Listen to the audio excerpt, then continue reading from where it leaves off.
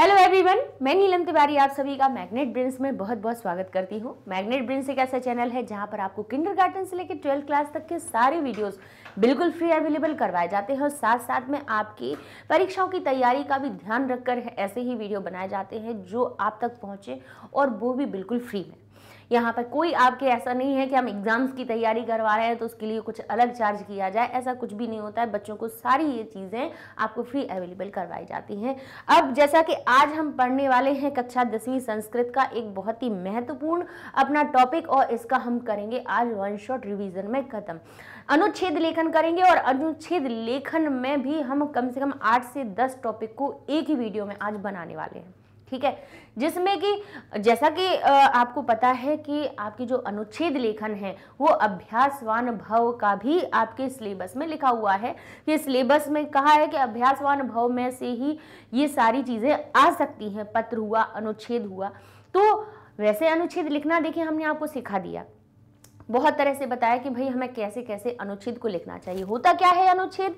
अनुच्छेद का और निबंध, दोनों ही चीज़ें अलग होती हैं। बच्चे सोचते हैं वो एक ही बात है, लेकिन ऐसा नहीं है। दोनों चीज़ें हैं अलग। कैसे? कि निबंध में तो कहते बिना बंध का निबंध, जिसमें बंधन नहीं है, वो निबंध है। ठीक है? यानी आप उसमें कोई शब्द सीमा नहीं होती, उसका प्रारंभ पहले अलग लिखना होता है, फिर बीच में हम अलग लिखते हैं, फिर उसके बाद की जो अंतिम रूपरेखा होती है, उसको हम अलग बनाते हैं। लेकिन संस्कृत में जो अनुच्छेद होता है चाहे हिंदी हो या अपना संस्कृत, अनुच्छेद जो होता है, वो क्या होता है? कम शब्दों में उस, जो हमारा विषय है, कोई भी एक आपको टॉपिक दे दिया गया, कोई भी आपको एक जो विषय दे दिया जाएगा, उस पर आपको कम शब्दों में उस पूरे के बारे में लिख देना है। कम शब्दों में।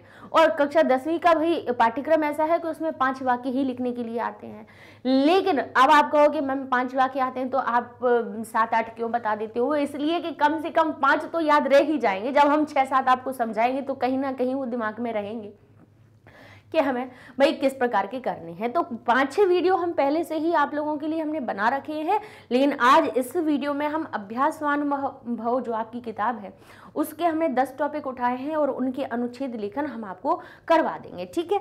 तो चलते हैं अपन, पहला देख लेते हैं, हमारा जो पहला टॉपिक उसमें दिया हुआ है, पहला विषय दिया हुआ है, जंतुशाला। अब जंतु का अर्थ ही समझ लेते हैं कि यानी जंतु का अर्थ क्या होता है? प्राणी। कौन से? हमारे जो जीव जंतु होते हैं, यानी कि जानवर, ठीक है? अब शाला, यानी उनके रहने का स्थान, ठीक है? तो जंतुशाला का अर्थ क्या हुआ? जहाँ पर जानवर रहते हो। अच्छा अब आप कहोगे कि जानवर तो कहाँ रहते हैं? जंगल में रहते हैं। लेकिन एक स्थान ऐसा भी होता है, जहाँ पर उनको, उनके वातावरण के अनुकूल उस जगह पर रखा जाता है, जिसको हम क्या कहते हैं? चिड़ियाघर। क्या कहते हैं उसको? चिड़ियाघर। चिड़िया कम रहती हैं, जानवर ज़्यादा रहते हैं, उस चिड़ियाघर में, जिसको हम जू भी कहते हैं। बोलते हैं। तो जंतुशाला, अब ये आपका टॉपिक आपकी किताब में है तो उसको अपन समझ लेते हैं कि क्या हमें इसके बारे में बताना है। तो कहेंगे जंतु जंतु नाम शाला, जंतुशाला इति कथ्यते। अब जंतु, अब हम जैसे इसके बारे में अगर हो ये वाले सारे हमारे पास वाक्य ना होते तो हमें स्वयं अगर बनाना होता तो हम क्या करते? तो हम किस प्रकार से अनुच्छेद लिखते? क्योंकि हमें लिखना भी सीखना है कि हो सकता है कि भाई अभ्यासवान भाव में से ना देखे, कोई अलग से ही आपका टॉपिक उठा के दे दिया जाए, फिर क्या करेंगे?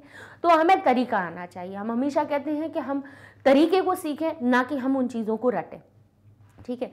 तो और अनुवाद करना तो आपको सिखाई ही है।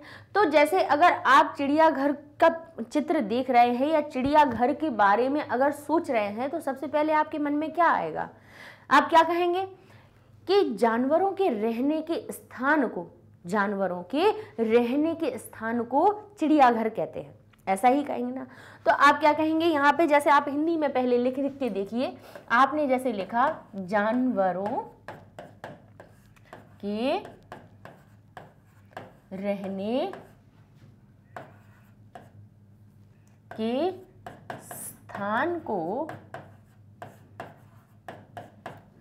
क्या कहते हैं? चिड़ियाघर कहते हैं। चिड़ियाघर कहते हैं। ठीक है तो अब हम कहेंगे जानवरों के। अब जानवर एक नहीं है, बहुत सारे एक ही तो रहता नहीं है चिड़ियाघर में, बहुत सारे रहते हैं। तो जानवरों को क्या कहेंगे? जंतु।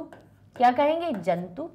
अब इसमें हमें क्या करना है? काकी के का अर्थ निकालना है तो हमें षष्ठी विभक्ति लगानी पड़ेगी। क्या लगानी पड़ेगी? षष्ठी विभक्ति। षष्ठी विभक्ति का बहुवचन क्या बनता है? बोले, एक वचन। एक वचन बनता तो हम क्या लगाते हैं? भाई, ये है हमारा उकारांत तो छोटी उ की मात्रा। तो हम क्या कहेंगे? जंतोह कहते। जंतोह कहते हैं इसमें। जंतोह जंतवो और जंतु नाम। अब लेकिन ना तो एक जानवर है, ना दो जानवर हैं, यहाँ बहुत सारे जानवर हैं, इसीलिए जंतु जो शब्द हो जाएगा और षष्ठी का बहुवचन बहुत सरल होता है, नाम नाम लगाना होता है तो हम यहाँ पे क्या लगा देंगे? नाम। अगर यहाँ र जैसा कुछ होता, र या षटकोण वाला शाह होता तो तो हम क्या कर देते? तब हम नाम लगा दे लेकिन यहाँ पे हमारे पास र नहीं है तो हमारे पास सिंपल न लगा के हम नाम लगा देंगे बीच में, ठीक है? तो हमने कहा जंतु नाम, यानी जंतुओं के। अब कहेंगे रहने के स्थान को, है ना? अब कहे रहने के स्थान को। अब रहने के साथ में काकी के का अर्थ लगाना है? तो कहेंगे रहने के स्थान को क्या कहा जाता है? शाला। रहने के स्थान को, पढ़ने के स्थान को शाला।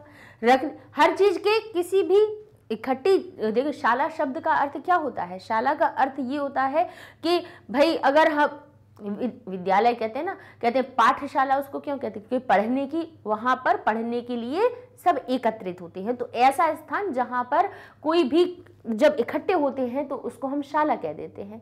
ठीक है? उस स्थान को हम शाला कह देते हैं। तो भाई वो स्थान है तो क्या है? रहने के स्थान को क्या कहा जाता है? शाला तो कहेंगे जंतुओं की शाला। तो जंतु नाम शाला, जंतुओं की जो शाला, यानी जंतुओं के रहने के स्थान को।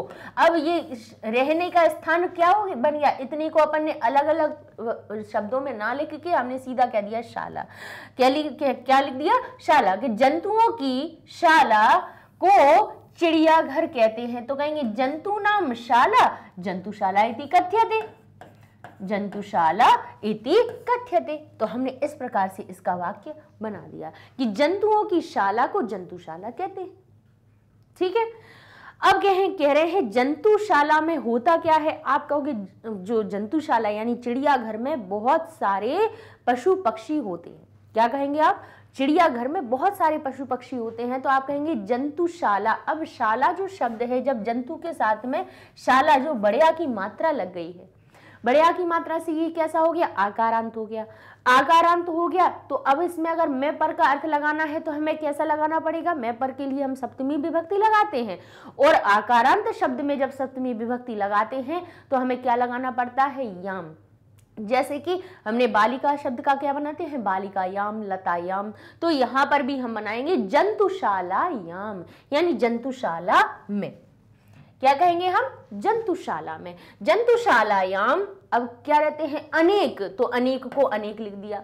अनेके, अनेक अनेक, अनेके। ठीक है? अनेक शब्द के भी भाई हमारे रूप बन गए। कहेंगे अनेके, बहुत सारे। पशु पक्षिण च पशु शब्द का बहुवचन लगाया, क्योंकि एक नहीं रहते हैं। पशु शब्द भी भानु जैसा भानुवह बन जाता है, वैसे पशु बन गया पशु पक्षी हमारा छोटी की मात्रा है पक्षी बन गया। क्योंकि पक्षी हमारा कैसा हो जाता है? बोले छोटी की मात्रा जैसा जैसा वारी का रूप बनता है, वैसा पक्षी का रूप बनता है। तो क्या बन जैसे वारी नह बनता है तो पक्षी बन गया हमारा पक्षी नह कहेंगे, जंतुशालायाम, यानी जंतुशाला में अनेके पशु च पक्षिण पशु और पक्षी होते हैं तो भवंती होते हैं, ठीक है? निवसंती निवास करते हैं, भवंती होते हैं। जंतुशालायाम अनेके पशु च पक्षिण। अब च क्या होता है? हम बाद में लिखते हैं। पशु पक्षिण, च भवंती, ठीक है? हो गया, आगे देखेंगे। अब लिखा है, जना ईमान पक्षिण, पशून चा द्रष्टुम दूरतः आगच्छन्ति। क्या लिखा है कि लोग इन पशुओं को अब पश, पक्षिण पशुन च। अब पशु पक्षियों को। तो इसके लिए क्या हो गया? ईमान अब ईमान शब्द कहाँ से आता है? ईदम शब्द में ही। हमारा कौन सा? पुरलिंग शब्द में द्वितीय विभक्ति का बहुवचन यानी इनको। किनको? इन पशु पक्षियों को। तो पशु शब्द भी बन गया पशुन जैसे भानून बनता है। है ना, द्वितीय विभक्ति में। तो कहेंगे इन पक्षियों को, क्योंकि पशुन और पक्षिणा ये दोनों ही कैसे बने हैं? द्वितीय विभक्ति वाले बने हैं, द्वितीय का बहुवचन बना हुआ है। इसीलिए हमारा ये ईमान शब्द भी क्या बन गया? जो हमारा इदम शब्द है, वो भी क्या बन गया? ईमान बन गया। यानी इनको इनको किनको? इन पशु पक्षियों को च दृष्टुम देखने के लिए दूरतः आगच्छन्ति, दूर से आते हैं। दूर से आते हैं। हम जब कभी सी का अर्थ लगाना हो तो हम क्या कह देते हैं? निकटतः, यानी पास से, दूरतः, यानी दूर से। तो ये जो तह लग जाता है, वो हमें से का अर्थ बता देता है। जहाँ हमें कभी पंचमी विभक्ति ना लगाना हो तो पंचमी विभक्ति के स्थान पे ये हमारा प्रयोग होता है। जैसे आपने कभी कभी पत्र में देखा होगा, लिखा रहता है, दिल्ली तह। तह जो लगाया जाता है, वो कैसा क्या बताता है हमें अर्थ सी का अर्थ बताता है कि दिल्ली से लग, कर रहे हैं फ़ोन या फिर हम कहीं और से कर रहे हैं। जहाँ सी सी का अर्थ बताना है वहाँ पर हम तह शब्द भी लगा देते हैं। निकट तह पास से दूर तह दूर ठीक है? तो ये क्या हो गया? जना लोग ईमान इन सभी को इन पशु पक्षियों को देखने इन पशु और पक्षियों को देखने के लिए दृष्टुम, देखने के लिए, तुमन प्रत्यय है, के लिए का अर्थ बन गया। के लिए दूरतः आगच्छन्ति, दूर से आते हैं।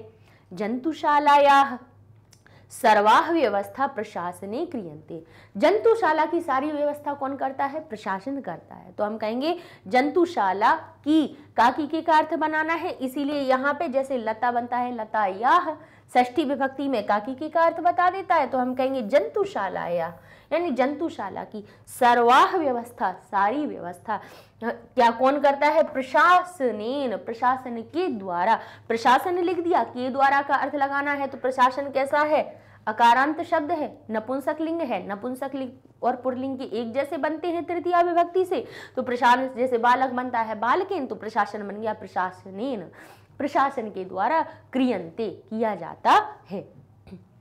आगे देखते हैं, बालका। बच्चे जंतुशालाम गत्वा प्रसन्ना भवंती लो, बच्चे जंतुशाला में जाकर, जा करके कैसे होते हैं? प्रसन्ना भवंती अब यहाँ कहेंगे आप, बालका जंतुशालाम। आप कहोगे, इधर अर्थ तो निकल रहा है कि जंतुशाला में जाकर। है ना? अगर आप जैसे ये वाक्य बना रहे हो कि बच्चे या लड़के या बालक, ठीक है? बालक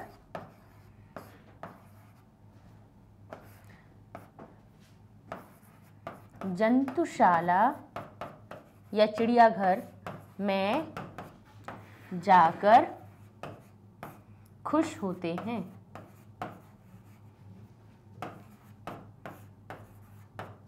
खुश होते हैं।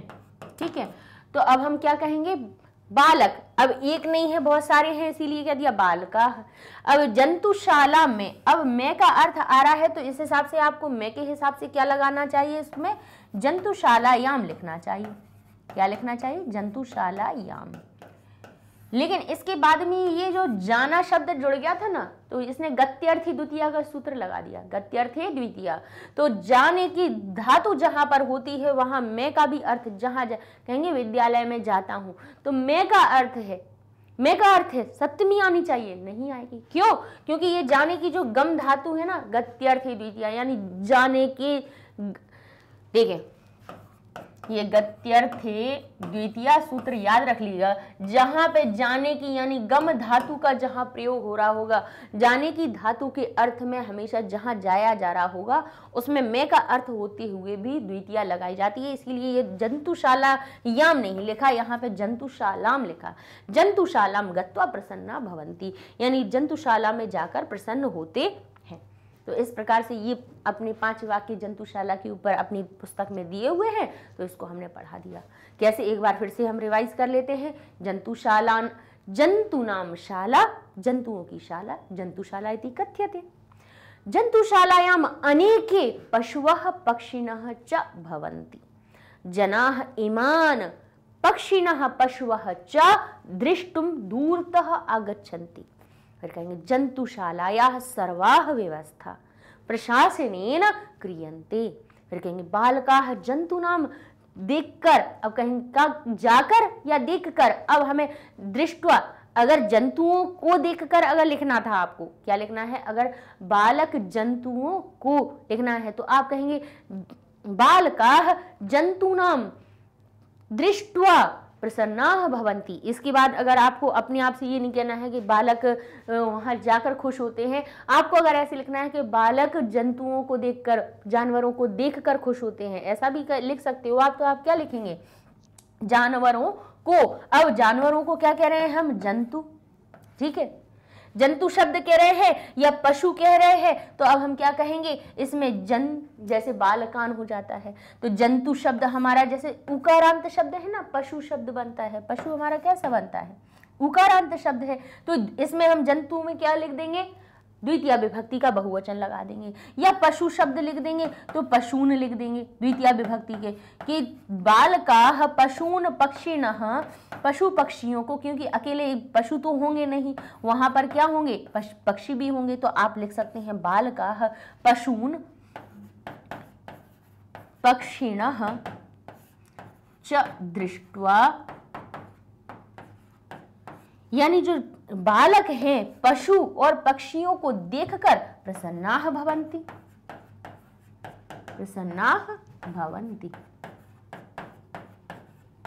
तो इस प्रकार से भी आप वाक्य बना सकते हो। ठीक है? कि पशून पक्षिण च, बालका पशून पक्षिण च दृष्टवा प्रसन्ना। तो देख कर जा कर चल कर तो ये कर का भाव लगाना है तो हम तो प्रत्यय लगा देते हैं। तो इससे कर और करके का अर्थ निकल आता है। क्योंकि अनुच्छेद हमें स्वयं भी बनाना सीखना है तो ये छोटी छोटी सी चीज़ें हम ध्यान रखेंगे तो हम अपने वाक्य अच्छे से बना पाएँगे। चलिए दूसरा देखते हैं, इसमें हमारा कौन सा दिया है? स्वच्छता। स्वच्छता के ऊपर हमारा अनुच्छेद अगर लिखने को आता है तो अपन कैसे लिखेंगे? स्वच्छता जीवन में आवश्यक होती है।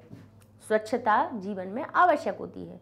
तो स्वच्छता में तो हमें कोई परिवर्तन नहीं करना, क्योंकि भाई उसको हम क्या कह रहे हैं, स्वच्छता होती है। करता है तो कर्तरी प्रथमा प्रथमा विभक्ति लगी है तो हमने लिख दिया उसको, स्वच्छता को स्वच्छता। बोले, क्यों इसमें कोई परिवर्तन नहीं? तो प्रथमा विभक्ति में आकारांत जो शब्द होते हैं, एक वचन में उनका रूप कुछ परिवर्तन नहीं होता। बालिका बालिका रहती, लता लता रहती, रामा रामा रहती है।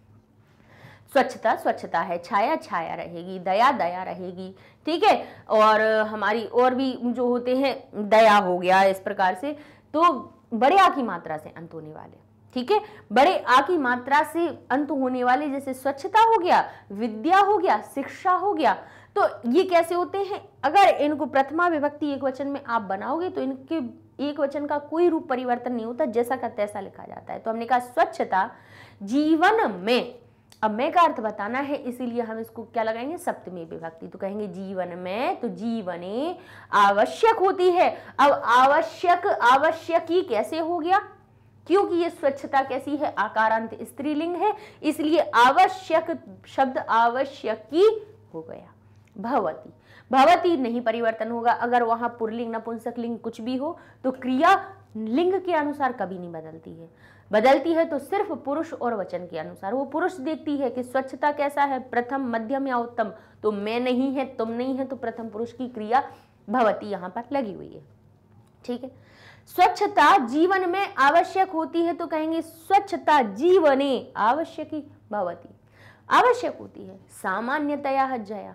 सामान्यतया यानी सामान्य जना, कहते हैं सामान्यतया सामान्य रूप से लोग स्वग्रहम स्वच्छी कुरवंती सामान्य रूप से लोग अपने घरों को, अब अपने घर को तो अब स्वग्रहम गृह शब्द में द्वितीय विभक्ति अपने घर को स्वच्छी कुरवंती स्वच्छ करते हैं।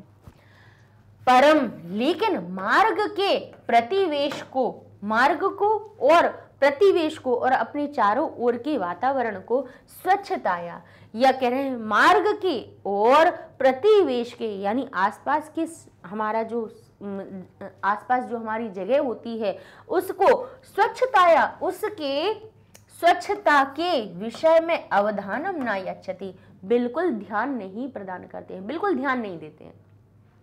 बिल्कुल ध्यान नहीं देते हैं। कि कहाँ पर नहीं देते हैं? कह रहे हैं, जनाह, लोग, स्वग्रहण स्वच्छ कुरवंती अपने घर को तो स्वच्छ रखते हैं, लेकिन, अब लेकिन किससे बनता है? परम परम शब्द से क्या बनता है? लेकिन लेकिन मार्ग के, और अपने परिवेश के, या प्रतिवेश के, और अपने प्रतिवेश की स्वच्छता के अब स्वच्छता में भी काकी के का अर्थ दोनों में, मार्ग और प्रतिवेश में भी काकी के का अर्थ बताना था तो मार्ग में एक वचन का रूप लगा दिया तो मार्गस्य हो गया।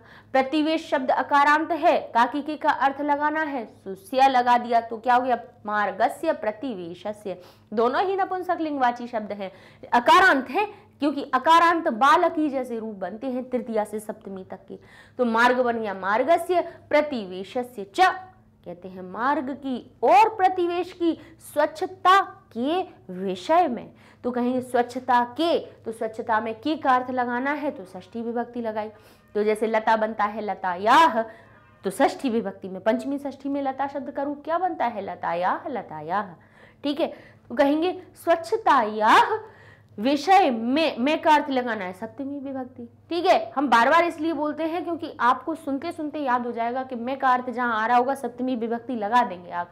ष्ठी विभक्ति, काकी के का अर्थ निकलेगा, लगा देंगे। हिंदी में बनाइएगा। हिंदी में बनाने की कोशिश कीजिए। जब हिंदी में आप बना लेंगे वाक्य किसी भी विषय के ऊपर, उसमें फिर आप देखिएगा, उसमें क्या जोड़ना है आपको? विभक्तियाँ जोड़नी है चिन्हों के अनुसार। स्वच्छता के विषय में तो विषय अवधानम, ध्यान न यच्छन्ति, नहीं देते हैं। यच्छ यानी देना। तो कहीं नहीं देते, ध्यान नहीं देते। बिल्कुल ध्यान नहीं देते हैं, क्या करना है? हमें अपना घर साफ़ रखना है और घर का कचरा लेके बाहर जगह पड़ी हुई है, वहीं पे फेंक दिया। क्यों? भाई, वो भी तो हमारे आसपास का परिवेश है। वहाँ की गंदगी से भी तो बीमारियाँ फैल के हमारे घर में आएँगी। तो ये चीज़ें हमें ध्यान रखनी है। अब कह रहे हैं, हमारे जो प्रधानमंत्री हैं, नरेंद्र मोदी, राष्ट्रपितु गांधी जन्म दिवसे स्वच्छता अभियान से आरंभम कृतवान कह रहे हैं, हमारे हमारे, अब अगर आपको अस्माकम के साथ में देश भी लिखना है कि हमारे देश के प्रधानमंत्री, है ना? हमारे देश के प्रधानमंत्री या भारत के प्रधानमंत्री लिखना है तो आप लिख सकते हैं भारत प्रधानमंत्री। या अस्माकम देश से हमारे देश के प्रधानमंत्री। इस प्रकार से भी आप इसमें अपनी तरफ़ से जोड़ सकते हैं। अस्माकम सा, के साथ में लिख सकते हो आप देशस्य यानी हमारे देश के प्रधानमंत्री नरेंद्र मोदी ने क्या किया है? राष्ट्रपितु यानी राष्ट्रपिता के राष्ट्रपिता के किसके? गांधी न राष्ट्रपिता गांधी के राष्ट्रपिता महात्मा गांधी के। अब पूरा लिखना है तो महात्मा गांधी भी लिख दीजिए। ज़रूरी थोड़ी ना है कि महात्मा गांधी के अब काकी की का अर्थ लगाना था इसलिए नहा लगा हुआ है। महात्मा गांधी न महात्मा गांधी के जन्म दिवस पर तो जन्म दिवस सप्तमी विभक्ति जन्म दिवस पर स्वच्छता अभियान का आरंभ करा, किया, आरंभ किया। तो क्या हुआ? जन्म दिवस पर स्वच्छता अभियान से आरंभम कृतवान किया। ठीक है? आगे चलते हैं। ठीक है। अधुना बालक अपि, आज बालक भी स्वच्छता विषय जागरूक संति आज के जो बालक हैं, आज, अब अब, या आज अधुना का अर्थ हुआ अब अब जो बालक हैं, बालक भी स्वच्छता विषय जागरूका संति जागरूक हो रहे हैं। अब जागरूका क्यों लिखा? क्योंकि बालका है। एक बालक होता तो जागरूक लिखते। ठीक है, लेकिन बहुत सारे जागरूका संति जागरूक हो रहे हैं। ते वे स्वग्रहम विद्यालय च यथाशक्ति स्वच्छम कर्तुम प्रियतनते। कह रहे हैं वे स्वग्रहम अपने घर को, विद्या और विद्यालय को, यथाशक्ति अपनी शक्ति के अनुसार स्वच्छम कर तुम स्वच्छ करने के लिए क्री धातु में तुम प्रत्यय लगा दिए तो कर तुम यानी करने के लिए प्रियतनते, यानी प्रयास करते आज जो बालक भी हैं, वे क्या करते हैं? अधुना बालक अपि, आज बालक भी स्वच्छता विषय पर कैसे है? जागरूक है। स्वच्छता विषय में जागरूक है। वे अपने घर को च विद्यालयम और विद्यालय को स्वच्छ यथाशक्ति स्वच्छम अपनी शक्ति के अनुरूप स्वच्छम कर तुम प्रयतनते। स्वच्छ करने का प्रयास करते रहते हैं। तो इस तरह से ये हमारे स्वच्छता के ऊपर आपका अनुच्छेद है। पाँच वाक्य आएँगे और भाई पाँच वाक्य ही हैं इसमें ठीक है? लेकिन देखिए इतने ही पाँच वा, वा, वाक्यों में इसका पूरा अर्थ निकल के आ गया कि भाई स्वच्छता क्या होती है आवश्यक होती मानव जीवन में? इसका प्रारंभ हमारे देश में हमारे देश के प्रधानमंत्री महोदय ने जहाँ गांधी की जी के जन्म पर इसको शुरू किया। गांधी जी के जन्म पर इस अभियान को शुरू किया। तो भाई उसी चीज़ को हमने यहाँ पे लिख दिया ठीक है? तो अब अब आगे देखते हैं। हमारा अगला जो लिखा हुआ है, वो लिखा है वृक्षो रक्षति ही रक्षिता। वृक्षा जीवन से आधारा भवंती वृक्ष कैसे होते? जीवन के आधार होते हैं। वृक्षो रक्षति रक्षिता का अर्थ क्या हुआ? कि वृक्षो रक्षति। आप वृक्ष की रक्ष, क्या कीजिए? रक्षा कीजिए। वृक्षों की हमें रक्षा करनी चाहिए और रक्षित तो वो हमारी भी रक्षा करते हैं। वृक्षो रक्षति, रक्षिता, रक्षित किए हुए, यानी सुरक्षित किए हुए वृक्ष आपकी रक्षा करेंगे। ध्यान कीजिएगा, क्यों? हम अगर पेड़ों को सुरक्षित रखेंगे तो पेड़ हमारी सुरक्षा करेंगे। कैसे सुरक्षा करेंगे? जब आपको ठंडी छाया की ज़रूरत होगी। आप धूप में निकल रहे होंगे, तब आपको, जब उस धूप से अपनी रक्षा करनी होगी, तब वृक्ष आपकी रक्षा करेंगे। जब वायुमंडल में प्रदूषण बढ़ रहा होगा, तब उस समय पे जब आपको स्वच्छ वायु और ऑक्सीजन की ज़रूरत होगी, तब वो आपको अच्छी ऑक्सीजन दे के आपकी रक्षा करेंगे। तो क्यों कहा गया है? कि वृक्षों, जैसे हम कहते हैं ना, धर्मो रक्षति रक्षिता है यानी रक्षित किया हुआ धर्म हमारी रक्षा करता है। ऐसे ही कह रहे हैं, वृक्षो रक्षति, यानी वृक्षों की रक्षा कीजिए जिससे रक्षिता वो भी हमारी रक्षा करते हैं। तो अब हम कहेंगे, वृक्षा जीवन का आधार होते हैं। वृक्ष जो होते हैं, जीवन का क्या है? हमारे आधार है। सबसे अधिक महत्वपूर्ण है, वृक्षा जीवन से आधारा भवंती वृक्षा, अब वृक्ष कैसे? एक वृक्ष तो होगा नहीं, बहुत सारे हैं तो हम कहेंगे, वृक्षा। जीवन का, काकी के का अर्थ लगाना है तो जीवन में हम षष्ठी विभक्ति लगा देंगे। तो कहेंगे जीवन से क्या है? जीवन का आधार है। तो कहेंगे आधारा अब आधार अकेला वृक्ष लिखते तो आधार लिखते। लेकिन वृक्ष बहुत सारे हैं, इसलिए आधार शब्द भी क्या बन गया? बहुवचन में आधारा और भवती ना करके हम लिखेंगे भवंती। एक वृक्ष होता, वृक्ष लिखा हुआ होता तो भवती लिखते। लेकिन वृक्षाह है बहुत सारे वृक्ष हैं। एक पेड़ की बात नहीं हो रही है, अनेकों वृक्षों की बात हो रही है, अनेकों पेड़ों की बात हो रही है तो हम कहेंगे वृक्षा जीवन से आधाराह भवंती ठीक है? कोशिश कीजिएगा कि हम जब आपको एक्सप्लेन कर रहे हैं, उसी में आप याद हो जाए। हम कोशिश यही करेंगे कि आपको हम बोलते बोलते में ही हम आपको याद करवा दें। आपके मन में कम से कम पाँच में से दो चार लाइनें तो आपको याद हो ही जाए। तो कहेंगे, वृक्षा जीवन से आधारा भवंती ठीक है? आगे कहेंगे, वृक्ष नदी भी पर्वत चा सुशोभिता। इम प्रकृति ही मानवानाम कृते उपयोगिनी भवती। वृक्षों के द्वारा, नदियों के द्वारा, पर्वतों के द्वारा, वृक्षों के द्वारा, नदियों के द्वारा और पर्वतों के द्वारा सुशोभिता इम प्रकृति। सुशोभित यह प्रकृति मानवों के लिए उपयोगी है। उपयोगी होती है। सिर्फ़ ये जो पेड़ दिख रहे हैं, नदियाँ दिख रही हैं, पर्वत दिख रहे हैं, ये सभी केवल प्रकृति को शोभित नहीं करते हैं। क्या करते हैं? हमारे लिए उपयोगी भी होते हैं।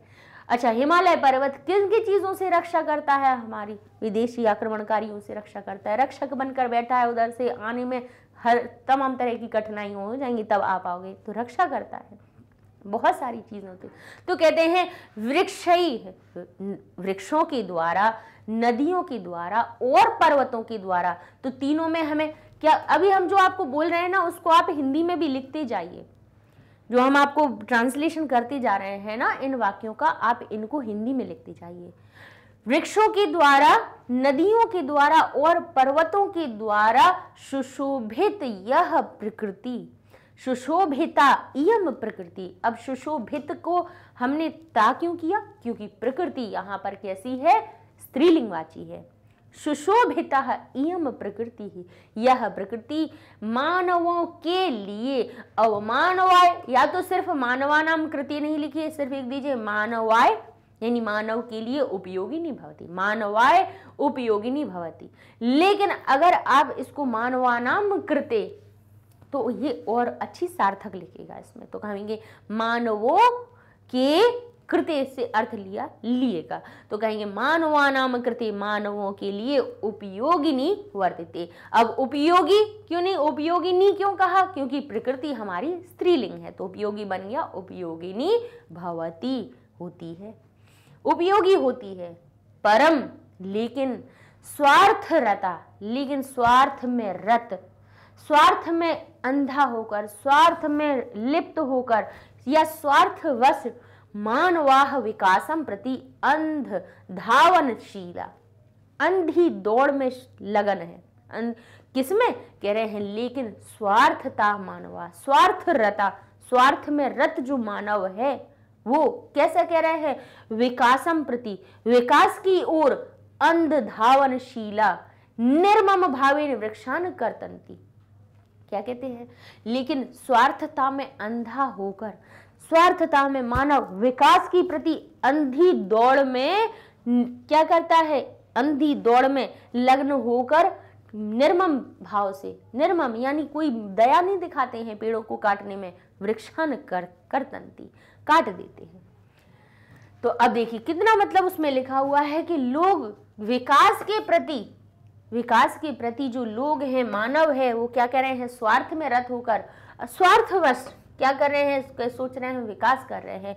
विकास करने के लिए एक बात बताइए, अगर ये मार्ग बन रहा है, सीधा मार्ग बन रहा है, ठीक है? और यहाँ पर मान लीजिए कि यहाँ पर वृक्ष लगा हुआ है एक। क्या लगा हुआ है? वृक्ष। और आपको मार्ग ऐसा बनाना है आपको सीधा। तो आप क्या करोगे?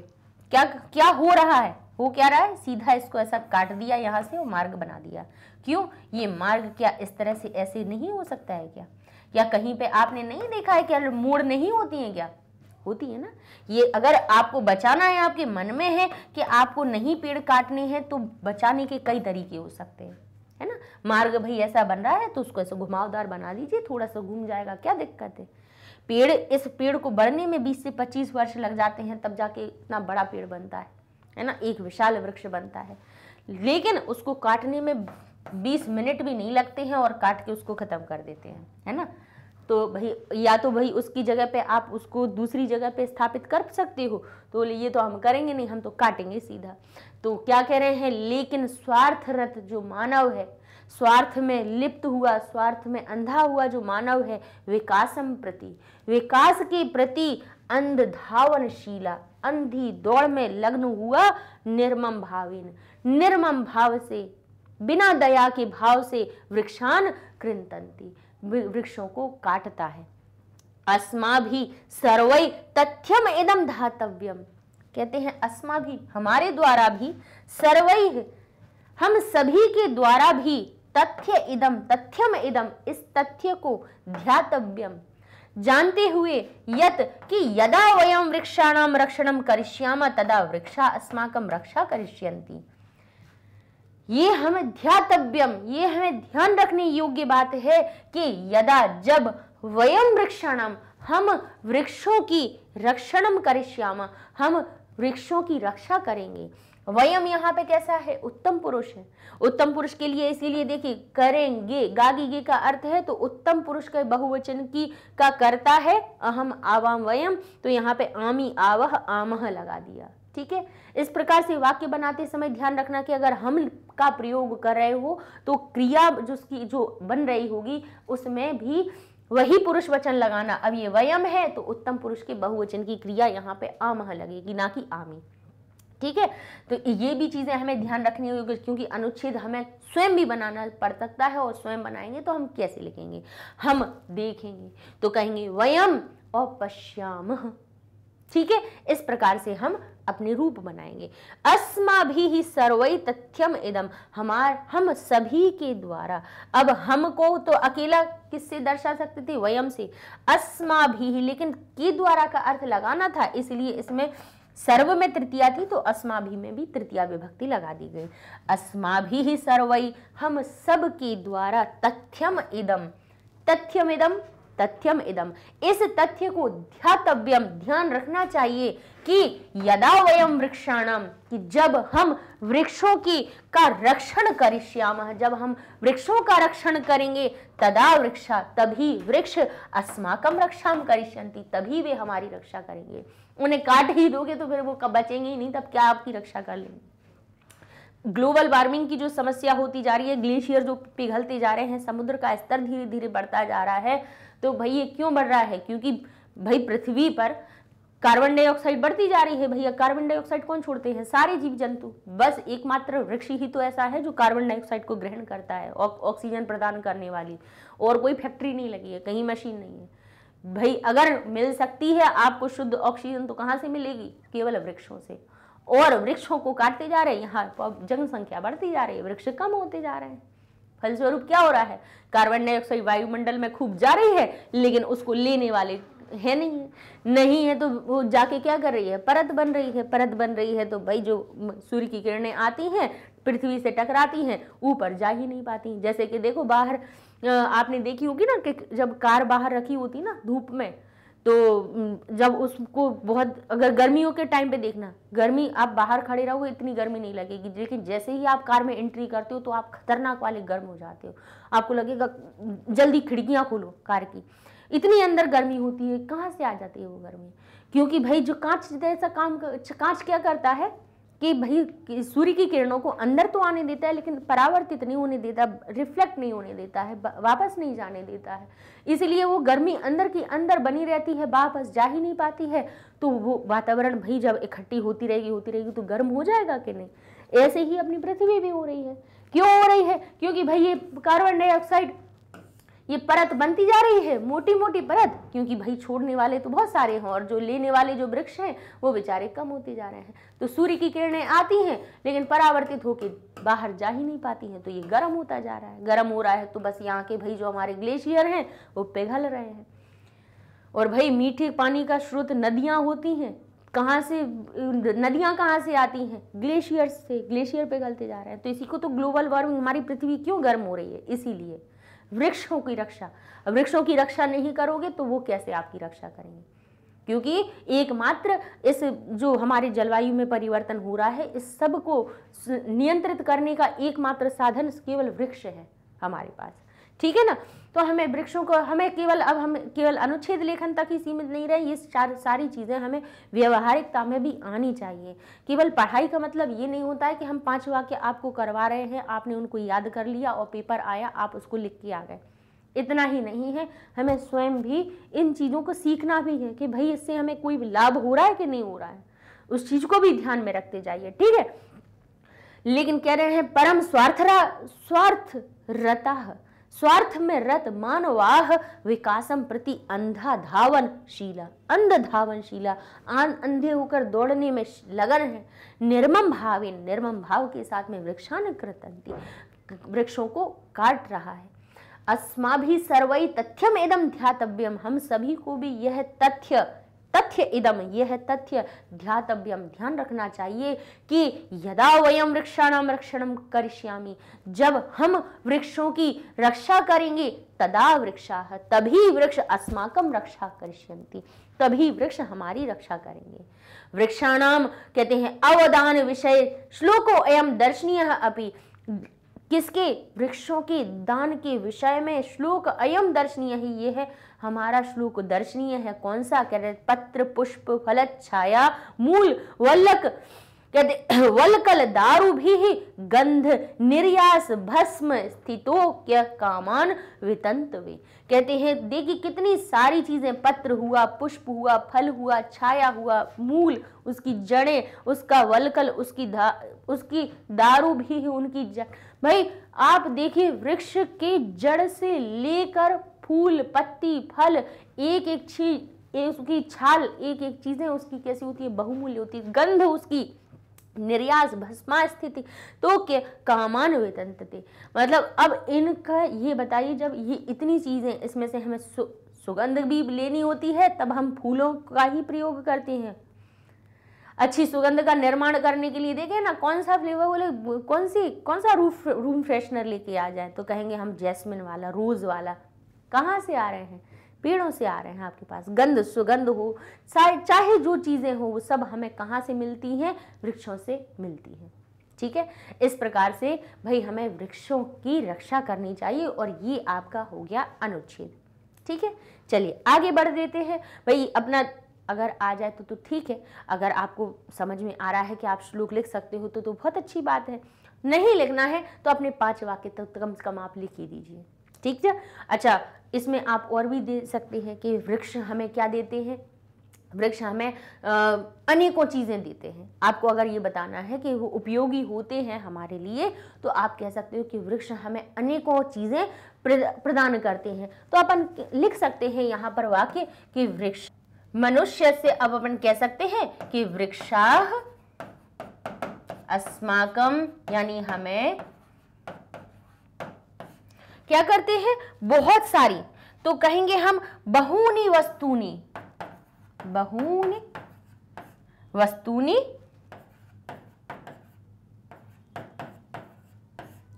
ददाती। तो इस प्रकार से भी लिख के वृक्षाह अस्माकम वृक्ष हमें बहुनी वस्तुनी ददाती, बहुत सारी वस्तुएँ देते हैं। यहाँ लिख देते हैं, आपको अगर लिखना हो, अगर छोटी सी लाइन है, लिख सकते हो कि वृक्षाह अस अस्माकम यानी हमें बहुनी, बहुत सारी तो कहेंगे बहुनी वस्तुनी। अब वस्तु शब्द कैसा है हमारा? उकारांत है, नपुंसक लिंग है तो हमारा क्या बन गया? वस्तुनी। जैसे मधु बनता है ना, मधुनी। तो इस प्रकार से वस्तु बन गया, वस्तुनी ददाती। यहाँ लिख देते हैं, ठीक है? ऐसे ही हम और भी क्या कह सकते हैं कि मनुष्य जो वृक्ष जो होते हैं, क्या देते हैं? स्वच्छ वायु। स्वच्छ वायु भी देते थे। तो हम लिख सकते हैं इसमें वृक्षाह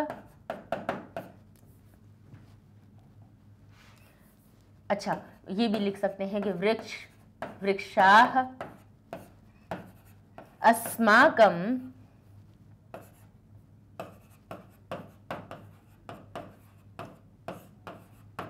स्वच्छ वायु ददाती।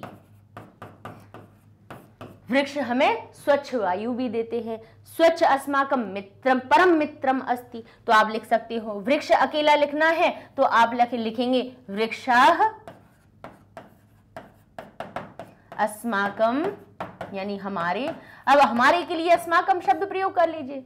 और मित्रता बतानी है तो कहेंगे वृक्षाह अस्माकम परम मित्रम संति परम यानी कैसे, घनिष्ठ, बहुत अच्छे परम मित्रम संति। अब संति क्यों लगा दिया? अस्थि क्यों नहीं लगाया? एक वृक्ष होता तो अस्थि लगाते। बहुत सारे हैं तो हमने संति लगा दिया। ठीक है? तो इस प्रकार से ये हमारे क्या हो जाएँगे? और हम और भी क्या लिख सकते हैं कि वृक्ष हमारे वातावरण को भी शुद्ध करते हैं। तो हम क्या लिख सकते हैं? वृक्षा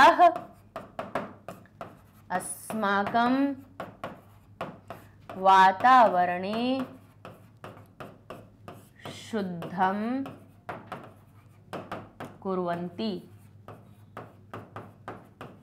कि वृक्ष हमारे वातावरण को भी शुद्ध करते हैं। तो इस प्रकार से भाई अपन वृक्ष के बारे में कि भाई क्या क्या करते हैं, पहले हम उनके बारे में बता सकते हैं कि वृक्ष हमारे लिए ये ये कर सकते हैं। तो इसीलिए हमें कि अस्मा भी सर्वाई सर्वही तथ्यम इदम धातव्यम, यत यदा वयम वृक्षाणाम रक्षण करिष्याम, तदा वृक्षा अस्माकम रक्षा करिष्यंती क्योंकि हमें पहले उपयोगी भी बताना चाहिए कि भाई हमारे वो परम मित्र हैं, वो हमें शुद्ध वायु देते हैं, अनेकों वस्तुएँ देते हैं हमारे जीवन के आधार हैं जब हम ये सब चीज़ें बताएँगे, तब हम उसके बारे में कहेंगे कि भाई जब इतना उपयोगी है तो फिर हमें इस तथ्य को याद रखना चाहिए कि जब वृक्ष हम हम वृक्षों की रक्षा करेंगे, तभी तो वृक्ष हमारी रक्षा करेंगे। तो इस प्रकार से अपन वृक्ष के ऊपर आराम से बहुत अच्छा निबंध पहले भी हमने आपको इसमें अनुच्छेद, हमने भी एक सरल भाषा में भी करवाया है। ये तो अपने इसमें अभ्यासवान भाव में दिया हुआ था तो इसको भी हमने कहा, आपको बता दें कि भाई कौन सी वाक्य हमें कहाँ से अच्छा लग जाए, उसको हम वहाँ से लिख सकते हैं। अब लिखा हुआ है, अगला आपका टॉपिक है बुक में हीमा दास। दास कौन है? उनके बारे में पढ़ लेते हैं। हीमा दास, कहते हैं, हीमा दास कौन है? असम राज्य असम राज्य की एक अति निर्धने कृषक परिवारे जन्म अलभत। हीमा दास असम राज्य के एक अति निर्धन कैसे कृषक परिवार में, निर्धन परिवार में जन्म प्राप्त हुआ? हीमा दास का जन्म कहाँ हुआ? एक अति निर्धन कृषक परिवार में। अब एक न, अति निर्धन में लगाते, फिर कृषक में लगाते। इसीलिए क्या होता है भाई, जो हमारा विशेषण बनता है, विशेष जैसा ही बनता है। हमेशा बताया ना कि कृषक परिवार में, लेकिन वो कृषक परिवार कैसा था? अति निर्धन था। तो दोनों में ही मैं का अर्थ लगाना है तो दोनों में ही सप्तमी विभक्ति लगा दी गई, इसमें लिखी हुई कि एक अस्मिन, एक में, और कैसे कृषक परिवार में एक परिवार में तो एक भी इसकी विशेषता बन रहा था तो देखिए, एक में भी सप्तमी विभक्ति लगी तो एक अस्मिन हो गया। पर, कृषक परिवार कैसा था? अति निर्धन था तो उसमें भी सप्तमी विभक्ति लग गई, क्योंकि ये दोनों ही शब्द इसके कौन बन रहे हैं? विशेषण बन रहे हैं। तो कहेंगे, एक कस्मिन अति निर्धने, कृषक परिवारे, जन्म अलभत, यानी जन्म प्राप्त हुआ। अस्याह जन्म जनवरी मासस्य नव्यव्याम कहते हैं नवव्याम। अस्याह जन्म, इनका जन्म जनवरी मासस्य, जनवरी मास की नवव्याम तिथौ द्विसहस्त्रतमे कौन सी कह रहे हैं? नवम। नौ। नौ से पता चला कि नौ हो गया। जनवरी हो गई, पहला मंथ हो गया।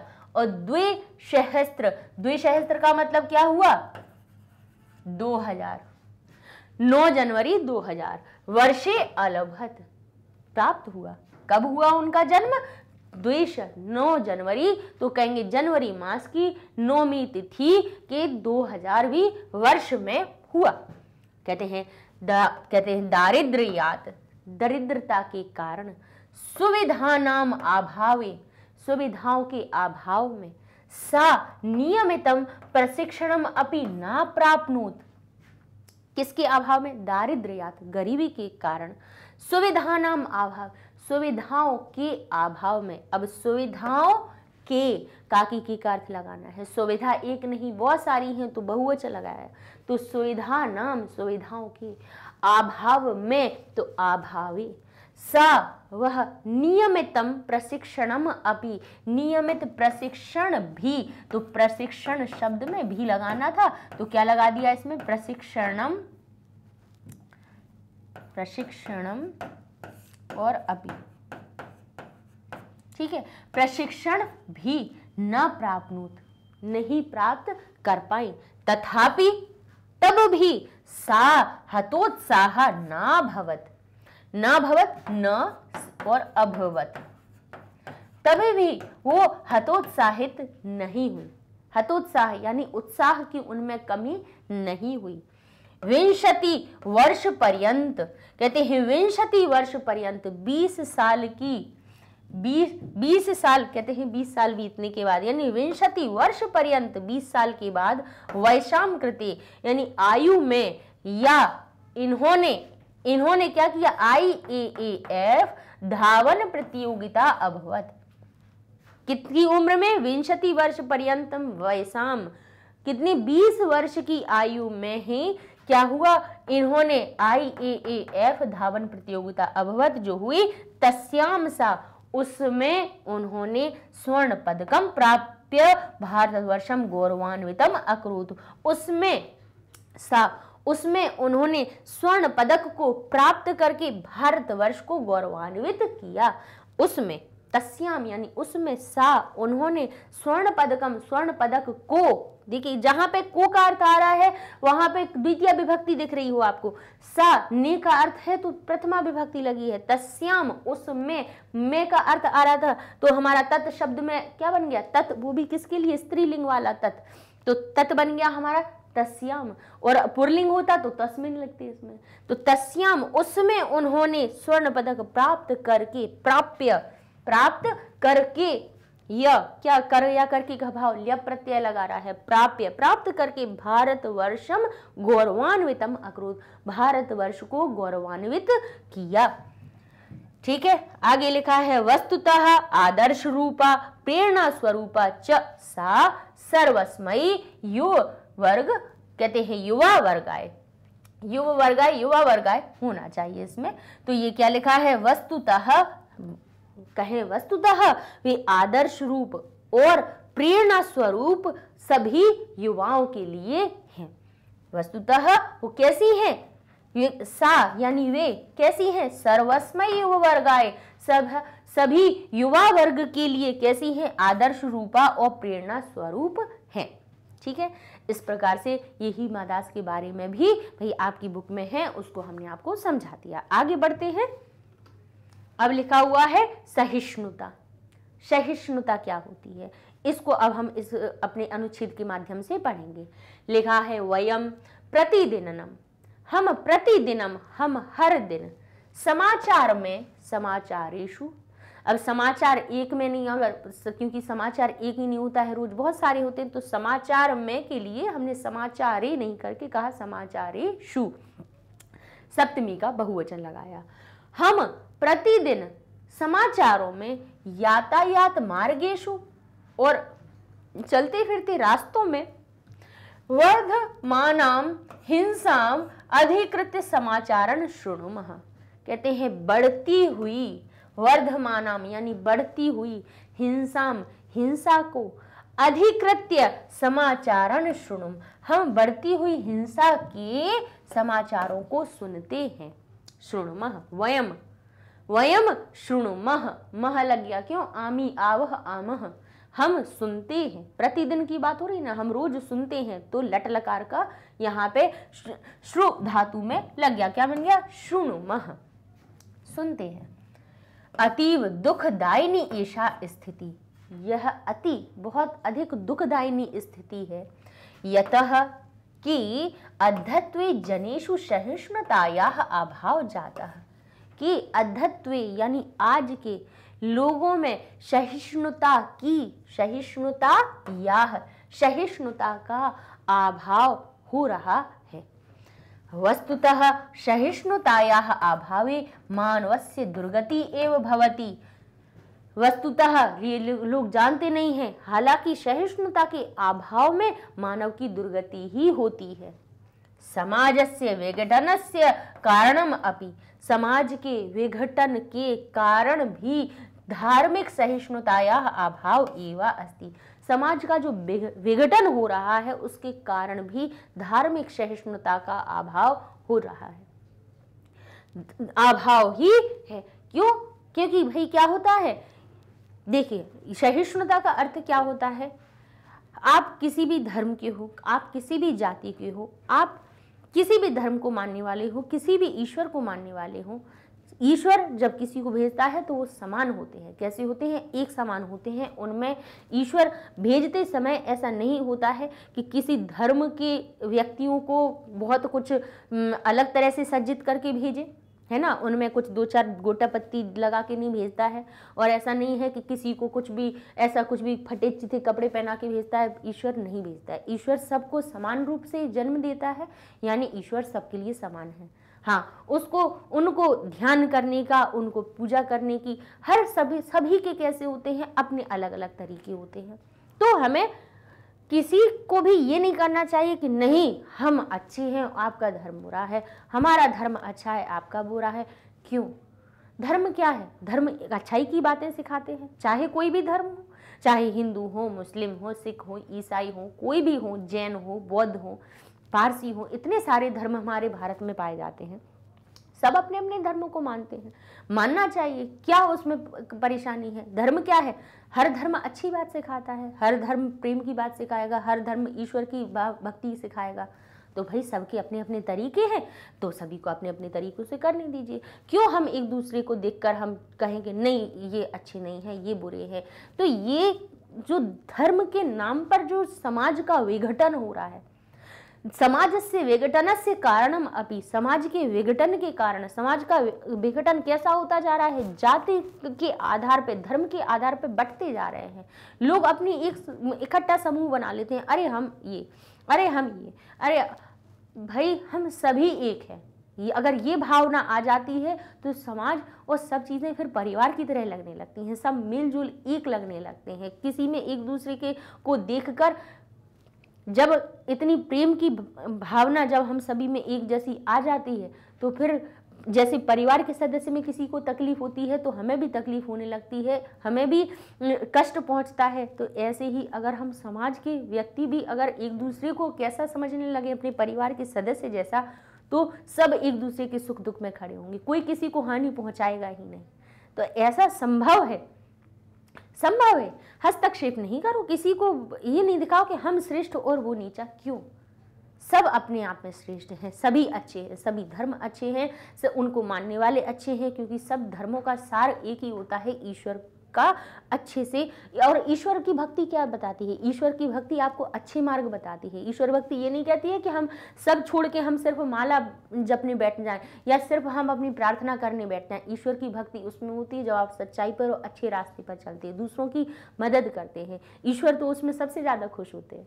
तो यहाँ क्या लिख, कह रहे हैं समाज से विघटन से कारणम अपनी समाज के विघटन के कारण भी धार्मिक सहिष्णुता अभाव एवं अस्ति।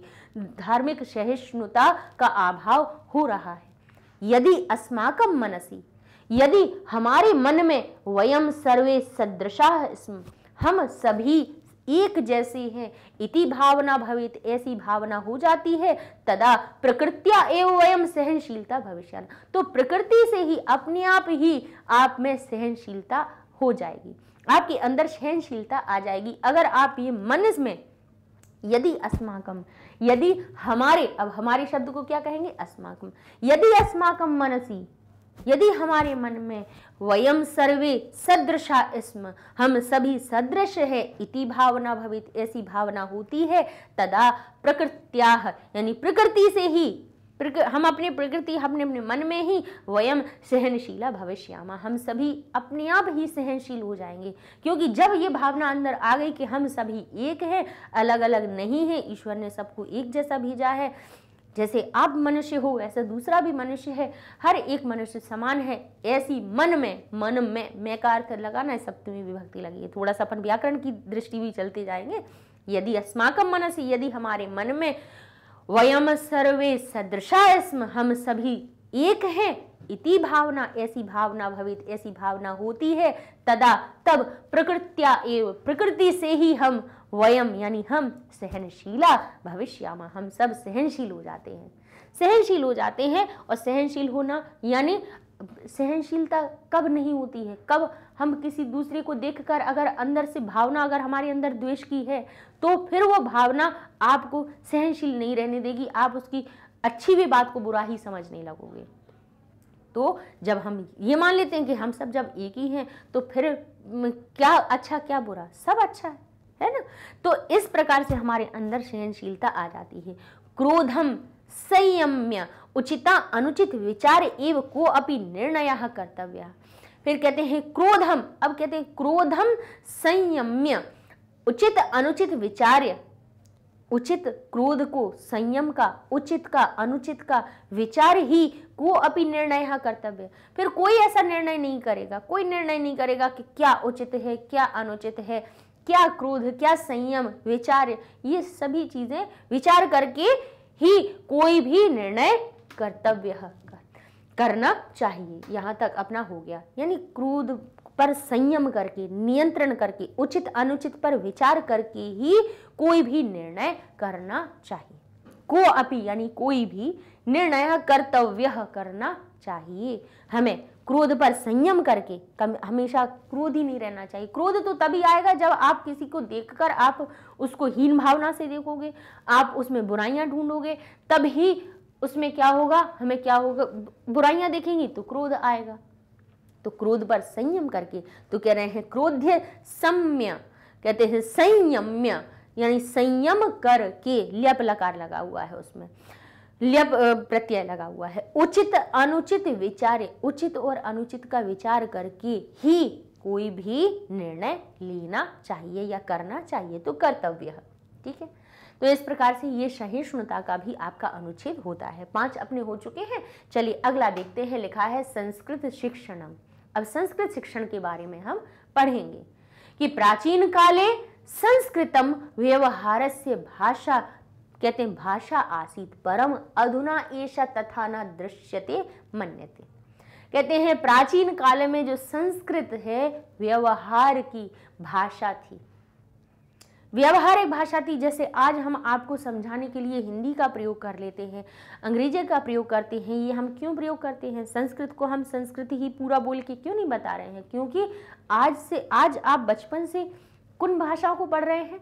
आप हिंदी में बात करना, आपने बचपन से सुनी, कौन सी? हिंदी पढ़ सुनी। हिंदी सुनते हुए जो भी और भी जितने भी बच्चे हैं, कोई भाई पंजाब प्रांत से होगा तो वो भाई पंजाबी बोलने, बोलना सीखता है। कोई दूसरी भाषा मतलब अपने अपने राज्य के हिसाब से भाषाओं की सीखते हैं। फिर इंग्लिश कैसे कि पाठ्यक्रम में जोड़ दी गई है कि पहली क्लास से हमें पहली कक्षा से क्या जो हम पहले नर्सरी भी, अब प्ले ग्रुप में भी वही चल गया है। पहले तो वही पहली कक्षा होती थी, उसके पहले भी अब ये प्री प्राइमरी जो होता है, उसमें न, पहले प्ले ग्रुप, फिर नर्सरी, फिर के जी वन, फिर के जी टू, ऐसे भाई चार क्लास पहले और पढ़ने पड़ते हैं, तब पहली में आते हैं।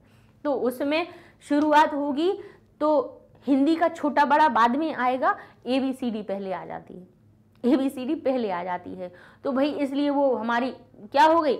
इंग्लिश भी हमारी कैसी होती गई? साधारण बोलचाल भाषा में हमारे लिए प्रयोग उस भाषा को हमने क्यों जल्दी सीखा? आपको लगता होगा इंग्लिश सरल हो जाती है, हिंदी सरल हो जाती है, वो क्यों सरल होती है? वो इसलिए क्योंकि हमने उसको, बचपन से उसको सीखना। बचपन से अगर संस्कृत को भी और पाठ्यक्रम में रख दिया जाए और सिखाया जाए तो बच्चे जैसे हिंदी और इंग्लिश में बिल्कुल बात करते हैं, ऐसे ही संस्कृत में ही, भी वो बोलना सीख जाएँगे। तो कह रहे हैं, पहले प्राचीन काल में संस्कृत व्यवहार की भाषा थी। मतलब आपस में बातचीत भी संस्कृत में ही की जाती थी। लेकिन अधुना ऐसा तथा न दृश्यते, न मन्यते। ऐसा न दिखता है और ना ही माना जाता है। ठीक है? संस्कृत भाषा जन भाषा भवेद। संस्कृत भाषा जन भाषा है। एतदर्थम संस्कृत भारती नामकम संस्थानम संस्कृत भाषाया प्रचार्य प्रसार्य च प्रयतति। अब संस्कृत भाषा जन भाषा भवेत ये तदर्थम जन भाषा हो इस इस कारण से, इसलिए इस अर्थ में जो संस्कृत भारती नामक संस्थान है संस्कृत भाषा के प्रचार के लिए और प्रसार के लिए प्रयतते, प्रयास कर रहा है। अत्र यहाँ पर अनेका परियोजना प्राचलयंती यहाँ पर अनेक परियोजनाएँ चलाई जाती हैं। यासु, जिसमें बाला नाम वयस्का नाम चाकृति, जहाँ पे बालकों के और बड़ों के लिए संस्कृत संभाषण, शिक्षण से रुचिकरी व्यवस्था क्रियते। जिसमें कि बाला नाम बालकों के लिए और वयस्कों के लिए संस्कृत संभाषण संस्कृत संभाषण यानी आपस में बातचीत करने में भी संस्कृत का प्रयोग करें। तो संस्कृत संभाषण शिक्षण से शिक्षण की रुचिकरी व्यवस्था क्रियते, रुचिकर व्यवस्था की गई है, जिसमें आपस में जो बातचीत भी की जाए, वो कैसे संस्कृत में ही की जाए। वदतु संस्कृतम। संस्कृत व्यवहार शास्त्री, भाषा प्रवेश। गीत संस्कृतम, शिशु संस्कृतम इत्यादीनि अनेकानि बाल्योपयोगिनी पुस्तकानि अपि अनेन संस्थानेन प्रकाशितानि। वदतु संस्कृतम। संस्कृत व्यवहार शास्त्री, भाषा प्रवेश। गीत संस्कृतम, शिशु संस्कृतम इत्यादीनि अनेकानि बाल उपयोगिनी पुस्तकानि अपि पुस्तकें भी इस संस्था के द्वारा प्रकाशित की गई हैं। संस्कृत शिक्षणम के बारे में यहाँ पे संस्कृत भाषा, यहाँ संस्कृत शिक्षण के बारे में बताया गया है कि संस्कृत शिक्षण के लिए कौन सी संस्थाएँ क्या काम कर रही हैं। तो उसके लिए ये जो संस्कृत भारती नामक संस्था है, संस्कृत भाषा के प्रचार प्रसार में लगी हुई है, बहुत प्रयास कर रही है। और यहाँ पर देखिए कौन कौन सी पुस्तकें प्रकाशित हुई हैं यहाँ से? वदतु संस्कृतम। संस्कृत व्यवहार शास्त्री भाषा प्रवेश, गीत संस्कृतम, शिशु संस्कृतम इत्यादि अनेकानी बाल्योपयोगी। बाल बालकों की उपयोगी पुस्तकें भी अनेन संस्थानेन इस संस्था के द्वारा प्रकाशित प्रकाशित की गई हैं। ठीक है? आगे देखते हैं, कहते हैं सांद कहते हैं, सांद्र मुद्रिका, ध्वनि मुद्रिका अपि इतः प्राप्त शक्यंते यहाँ पर सांद्र मुद्रिका और ध्वनि मुद्रिका भी यहाँ प्राप्त कर सकते हैं। एवं इस प्रकार संस्कृत भाषा अधिगमाय सर्वथा उपयुक्तम एतत् स्थानम। इसलिए संस्कृत भाषा के अधिगम के लिए, संस्कृत भाषा को सीखने के लिए सर्वथा उपयुक्तम एतत्, सर्व यह संस्थान। एतत् संस्थानम सर्वथा उपयुक्तम सबसे उपयुक्त है। संस्कृत के शिक्षण के लिए, कहते हैं संस्कृत भाषा के शिक्षण के लिए, या तो फिर कैसे, क्या लिख सकते हो? इस प्रकार संस्कृत भाषा संस्कृत भाषा या शिक्षणाय, संस्कृत भाषा के शिक्षण के लिए सर्वत, एतत् स्थानम सर्वथा उपयुक्त। सबसे उपयुक्त ऐसे भी लिख सकती हो। अगर आपको ये कठिन कठिन लग रही है कि संस्कृत भाषा अधिगमाए सर्वथा उपयुक्तम एतत स्थानम तो इसको आप परिवर्तित करके कैसे लिख सकती हो कि एतत स्थानम एतत स्थानम संस्कृत संस्कृत भाषा या संस्कृत भाषा के अब काकी के का अर्थ लगाना है ना, इसलिए भाषा शब्द में हम षष्ठी विभक्ति लगा रहे हैं। यह संस्थान या यह स्थान संस्कृत भाषा के शिक्षण के लिए तो शिक्षणाय शिक्षणाय शिक्षा के लिए कहते हैं उपयुक्तम उपयुक्तम अस्ति। और सर्वथा उपयुक्त है, सबसे सबसे अच्छा सर्वथा और लगा दीजिए, और अच्छा वाक्य हो गया। उपयुक्तम अस्ति। तो इस प्रकार से लीजिए ये संस्कृत शिक्षण के ऊपर ये आपका जो अनुच्छेद था, उसको हमने करवा दिया। ठीक है? समझ में आया? रिवाइज कर लें क्या एक बार? क्या करेंगे हम? प्राचीन काले संस्कृतम व्यवहारिश भाषा आशीत। आप चाहें तो इसको अलग अलग लिखिए। भाषा सीत क्या बन जाएगा? भाषा आसीत। भाषा थी परम, लेकिन अधुना ऐसा तथा न दृश्यते, न मन्यते। यानी लेकिन अधुना ऐसा लेकिन आज ऐसा, लेकिन अब ऐसा उस प्रकार का न दिखाई देता है, न माना जाता है। संस्कृत भाषा जन भाषा भवेत संस्कृत भाषा जन भाषा हो ए तदर्थम इस प्रकार, इसलिए संस्कृत भारती नामक संस्थानम संस्कृत भाषाया प्रचाराय, प्रसाराय च प्रयतते। संस्कृत भारती नामक जो संस्था है, संस्कृत भाषा के प्रचार, प्रसार के लिए, प्रचार के लिए और प्रसार के लिए तो दोनों में के लिए है तो आय लगा दिया है, चतुर्थी विभक्ति लगा दी। संस्कृत भाषा के काकी के का अर्थ है तो संस्कृत भाषा या लिख दिया। षष्ठी विभक्ति लगा दी। संस्कृत भाषा के प्रचार के लिए और प्रसार के लिए प्रयतते यानी प्रयत्नशील है। अत्र अनेका प्रयोजना प्राचलयन्ते। यहाँ पर अनेक प्रयोजनाएँ चलाई जा रही हैं। यासु, जिसमें बालानाम, वयस्कानाम चक्रते बालकों के और वयस्कों के लिए ध्यान कीजिएगा, कभी भी आपको जैसे के लिए का अर्थ लगाना है और उसमें चतुर्थी विभक्ति नहीं लगानी है तो ये जो कृत्य शब्द है, ये भी के लिए का अर्थ बताता है। तो उसके लिए हमें क्या करना पड़ता है? जैसे मनुष्यों के लिए लिखना है तो हम क्या लिख देते हैं? मनुष्याणाम मनुष्या नाम मनुष्याणाम शा आ गया ना तो ये नाम हो जाएगा। रा और शा के आने पे ये जो ना है, वो ना में परिवर्तित हो जाता है। कहेंगे मनुष्याणाम कृत्य तो ये कृत्य लगने से भी लिए का अर्थ निकल आता है।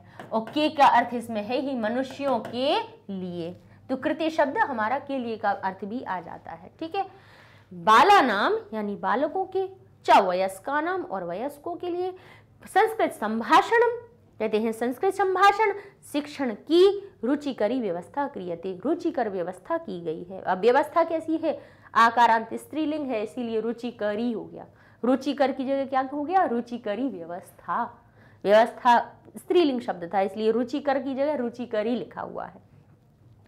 वदतु संस्कृतम, संस्कृत व्यवहार शास्त्री, भाषा प्रवेह, गीत संस्कृतम, शिशु संस्कृतम इत्यादि अनेकानी बाल्य उपयोगी, बालो उपयोगी, बाल और उपयोगी अलग अलग थे। साथ में मिलाया ओ की मात्रा गुण संधि से आ गई। पुस्तकानी अपि, पुस्तकें भी अनेन संस्थान प्रकाशितानि। ये जो संस्थान है वो प्रकाशित करता है। सांद्र मुद्रिका ध्वनि मुद्रिका अपि इतः प्राप्त शक्य थी यहाँ पर सांद्र मुद्रिका ध्वनि मुद्रिका भी प्राप्त कर सकते हैं। एवं इस प्रकार संस्कृत भाषा अधिगमाय सर्वथा उपयुक्तम एतत् स्थानम। इस प्रकार लीजिए, ये आपका संस्कृत शिक्षण का भी अनुच्छेद होता है पूरा। चलिए, अब आगे देखते हैं। अब आता है मम धर्म, यानी हमारे धर्म। उसके बारे में लिखा हुआ है कि हमारा धर्म क्या है या क्या होना चाहिए। तो कहते हैं, अहम मानव अस्मि। हम सब कौन है? मानव है। ठीक है? मतलब ये सबसे बड़ा, अगर कहे, कहा जाए तो सबसे बड़ा जो धर्म है, वो हमारा मानव है और मानवता है। मानवता हमारा सबसे बड़ा धर्म होना चाहिए। भले ही हम अलग अलग धर्मों को मानते हैं। कोई हिंदू है, कोई मुस्लिम हो, कोई सिख है, कोई ईसाई है, कोई जैन, बौद्ध, पारसी, सब है। लेकिन सबसे बड़ा जो धर्म है, वो क्या है? मानवता का धर्म होता है। यानी अगर सब सबसे बड़ी चीज़ देखी जाए तो क्या कहेंगे कि हम मानव हैं। ये ही हमारा धर्म होना चाहिए। हम मानव हैं, दूसरे भी सब मानव हैं और हम सब समान हैं। तो अगर ये धर्म मान लिया जाए तो ये सबसे बड़ा धर्म हो जाएगा। यानी जब समानता का आ जाएगा, सब में भाव तो वो क्या हो जाएगा? वो सबसे सर्वश्रेष्ठ धर्म हो जाएगा। तो कहेंगे, मानवता मम गुण धर्म च।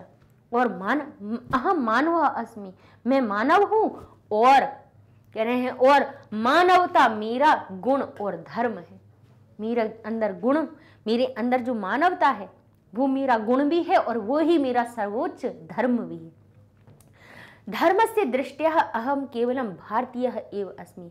अगर धर्म की दृष्टि से देखा जाए तो ना ही कोई हिंदू है, ना ही कोई मुस्लिम है, ना ही कोई सिख है, ना कोई ईसाई है।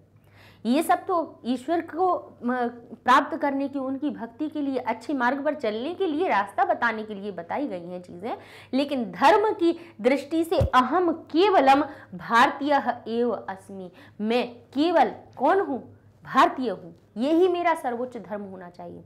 भारत में रहते हैं हम, जिस देश में रहते हैं। देखिए, संस्कृत जो भाषा है, वो विश्व बंधुत्व का पाठ सिखाती है। कहते हैं कहते हैं, वसुधैव कुटुंब कम यानी वसुधा ही हमारी कुटुंब है।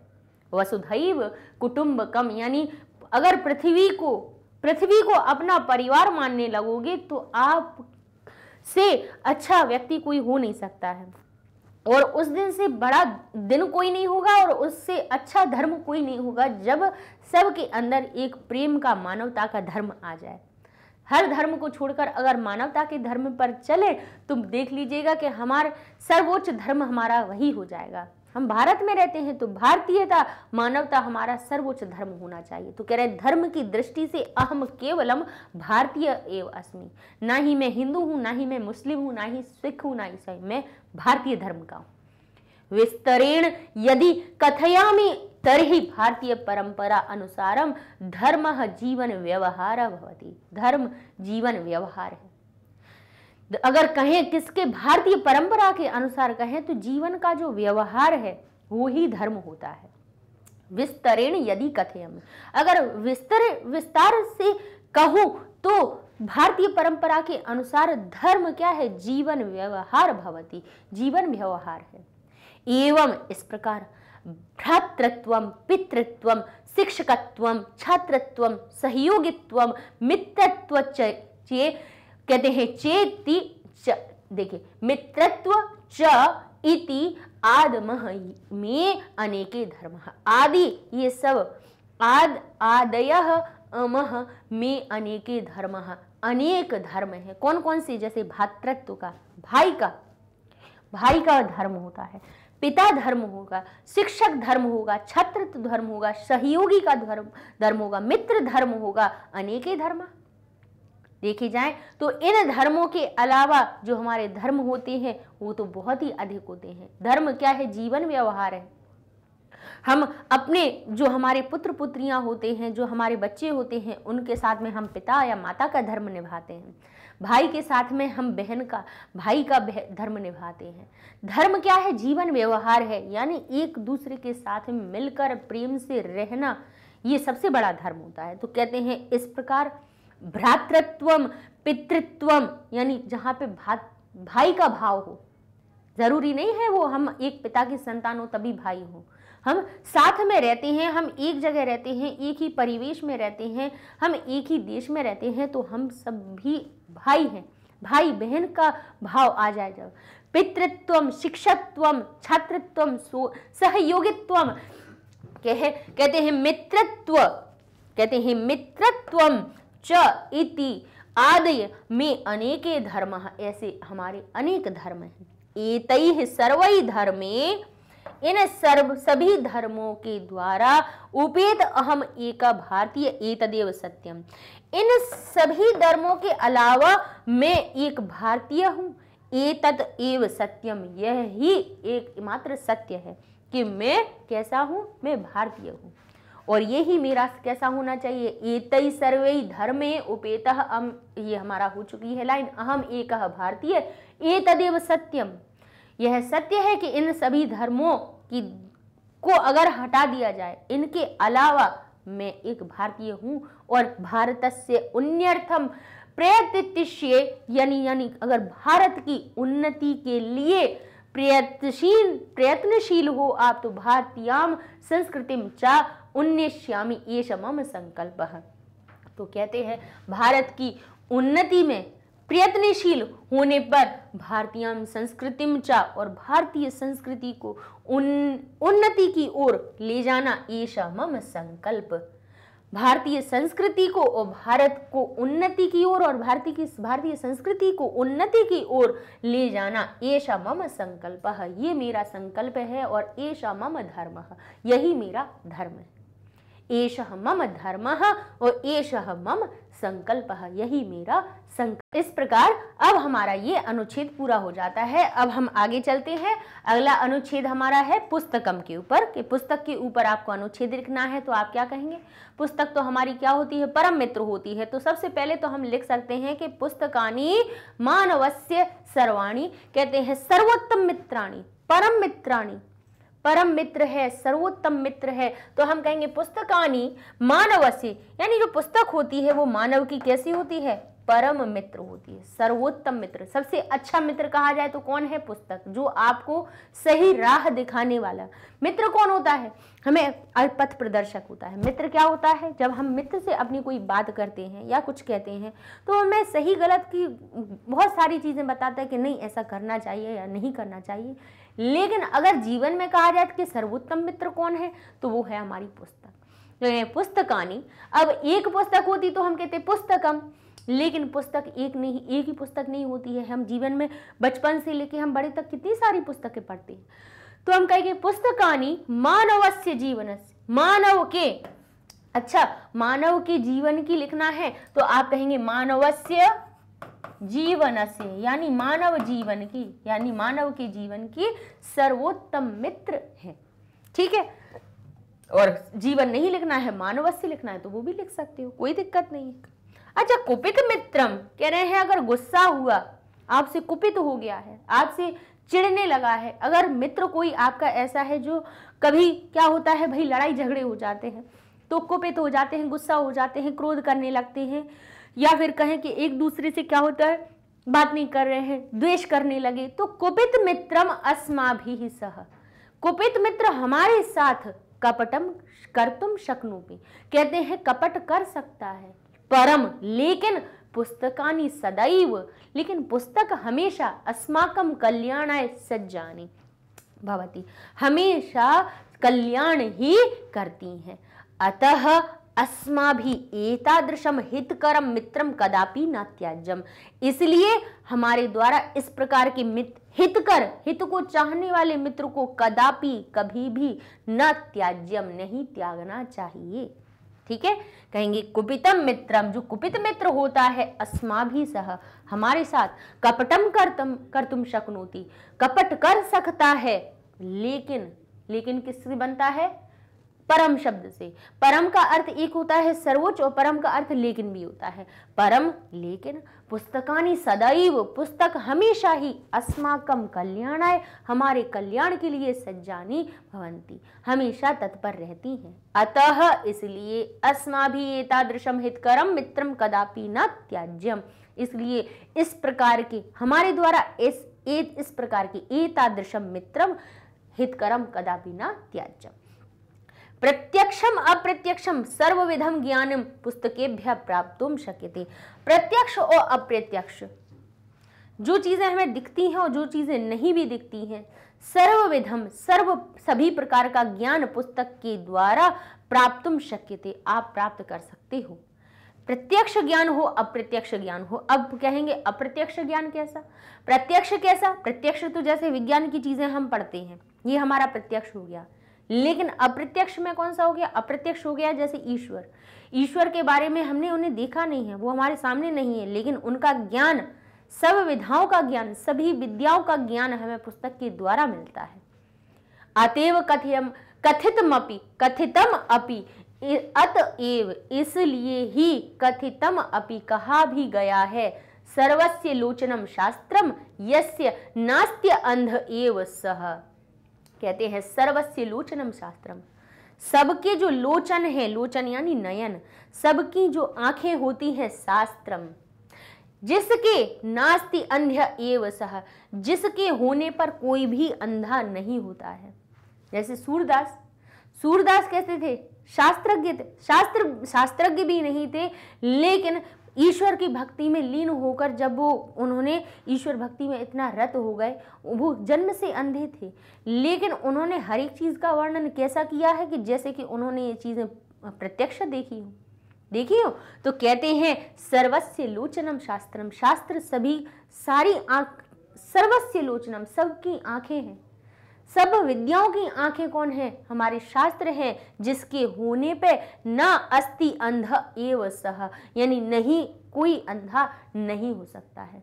अंधा ही नहीं है। इस प्रकार से अब आगे देखते हैं, लिखा है, पुस्तक मेल कानी भवंती पुस्तक मेले भी लगाए जाते हैं, होते हैं यत्र, जहाँ पर वयम विविध विषयाणाम पुस्तकानी एकस्मिन स्थाने प्राप्त सक्षमाह क्षमा की जगह आप लिख देंगे सक्षमाह स को इसमें जोड़ लीजिए। जहाँ पर हम क्या हो जाते हैं कि एक ही स्थान पर, एकस्मिन स्थाने, एक ही स्थान पर प्राप्त करने में सक्षम हो जाते हैं। किन में? पुस्तक मेलों में। ठीक है? इस प्रकार से यहाँ तक अपना कौन सा हो जाता है? ये पुस्तक का जो अपन अनुवाद, अनुच्छेद पढ़ रहे थे, इसको हमने करवा दिया आपका। अच्छा यहाँ से ये जो हमारा अस्मा भी से है अस्मा भी सदैव स्वाध्यायी परई है भवितव्यम, ये हमारे आगे वाले अनुच्छेद की ही पंक्ति है, जिसमें कि हम पढ़ेंगे कि स्वाध्याय क्या होता है। पुस्तक का अपना हो चुका, अब इसके बाद देखते हैं। लिखा हुआ है अस्मा भी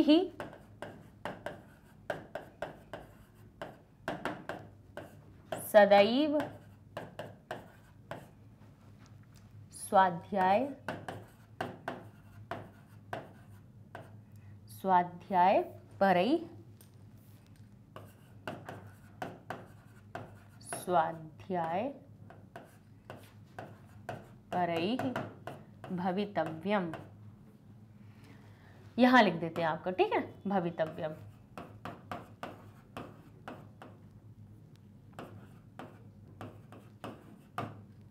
ठीक है। अब देखिए यहाँ से अपन शुरू करते हैं। पुस्तक का अपना हो चुका, अब स्वाध्याय के लिए भी आपका ये टॉपिक दिया हुआ है, पुस्तक में उसको पढ़ लेते हैं। स्वाध्याय का मतलब क्या होता है? स्वयं से अध्ययन करना। दो प्रकार के अध्ययन होते हैं। एक तो हम क्या होते हैं? शिक्षकों के द्वारा पढ़ते हैं। और एक होता है स्वाध्याय करना, यानी खुद से अध्ययन करना। खुद से ही किन्हीं भी पुस्तकों का अध्ययन करना। अभी अपन पुस्तकों के बारे में पढ़ रहे थे, और उन्हीं पुस्तकों को स्वयं से पढ़ना, स्वयं से उनको सीखना, स्वयं से ही उनके बारे में जानने की कोशिश करना स्वाध्याय कहलाता है। क्या कहलाता है? स्वाध्याय, यानी अपने आप से। आपको कोई इसके लिए मार्गदर्शित नहीं करेगा, लेकिन फिर भी उसमें आप स्वयं से पढ़ें। ठीक है? तो यहाँ पे लिखा हुआ है अस्मा भी ही सदैव स्वाध्याय पर ही भवितव्यम। यानी हमें, हमारे द्वारा हमेशा स्वाध्याय की ओर जाना चाहिए, या स्वाध्यायी होना चाहिए, स्वाध्याय परक होना चाहिए। यानी स्वाध्याय करने वाला होना चाहिए। ये जो आपकी पंक्ति यहाँ लिखी हुई है, इसका अर्थ ये निकल रहा है कि अस्मा भी सदैव स्वाध्याय पर भवितव्यम। यानी हमेशा हमें स्वाध्याय परक होना चाहिए। ऐसा व्यक्ति होना चाहिए कि जो कभी कभी जब भी समय मिले, तब स्वाध्याय करे। किसी भी नोवेल का, किसी भी उपन्यास का, किसी भी कहानी का, कोई भी आपके यहाँ पे ग्रंथ हो, उसका स्वाध्याय करना चाहिए। कहते हैं विद्यालय पठित पाठ से यदा ग्रहे वयम पुनः अध्यापन कुर्मः, तद विषय चिंतनम कुर्मः अभ्यासम व कुर्मः तत्कर्म स्वाध्याय इति कथ्यते। विद्यालय में तो देखिए, पढ़ाए जाते हैं आपको पाठ, लेकिन जब उन पाठ को देखिए, विद्यालय में आपको पढ़ाए जाएँगे, आपको उसके बारे में अभ्यास करवा दिए जाएँगे, समझा दिए जाएँगे। लेकिन स्वाध्याय क्या होता है? कि विद्यालय में आपको जो करवाया गया है पाठ उसको आप क्या करें? उसके ऊपर आप चिंतन करें। उसको सोचें, उसको समझें कि ये जो पाठ हमने पढ़ा था, इसका अर्थ क्या था? इसका उपयोग क्या था? तो विद्यालय पठित विद्यालय के पढ़े हुए पाठ का जब हम घर में वयम हम पुनः अध्ययनम कुर्मा, हम फिर से अध्ययन करते हैं। तद विषय चिंतनम कुर्मः और उस विषय पर चिंतन करती हैं अभ्यासम व कुर्मः और अभ्यास करती हैं, तत्कर्म, उस कर्म को, उस काम को स्वाध्याय इति कथ्यते, उसी काम को स्वाध्याय करना चाहिए, उसी को स्वाध्याय कहते हैं। अधत्वे छात्राणाम मूल समस्या स्वाध्याय से अभाव अस्ति। आज के छात्रों में मूल जो समस्या है वो स्वाध्याय के अभाव की है। जो सबसे बड़ी समस्या क्या है बच्चों की? स्वाध्याय।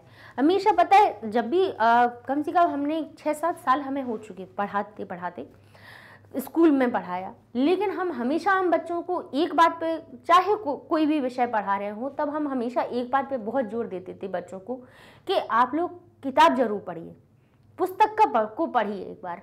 हमने पढ़ा दिया है आपको समझा दिया है लेकिन एक जब हम स्वयं उसको लगन से पढ़ते हैं वो जो चीज़ हमारे अंदर वो हम जो आत्मसात करते हैं उसकी बात ही अलग होती है।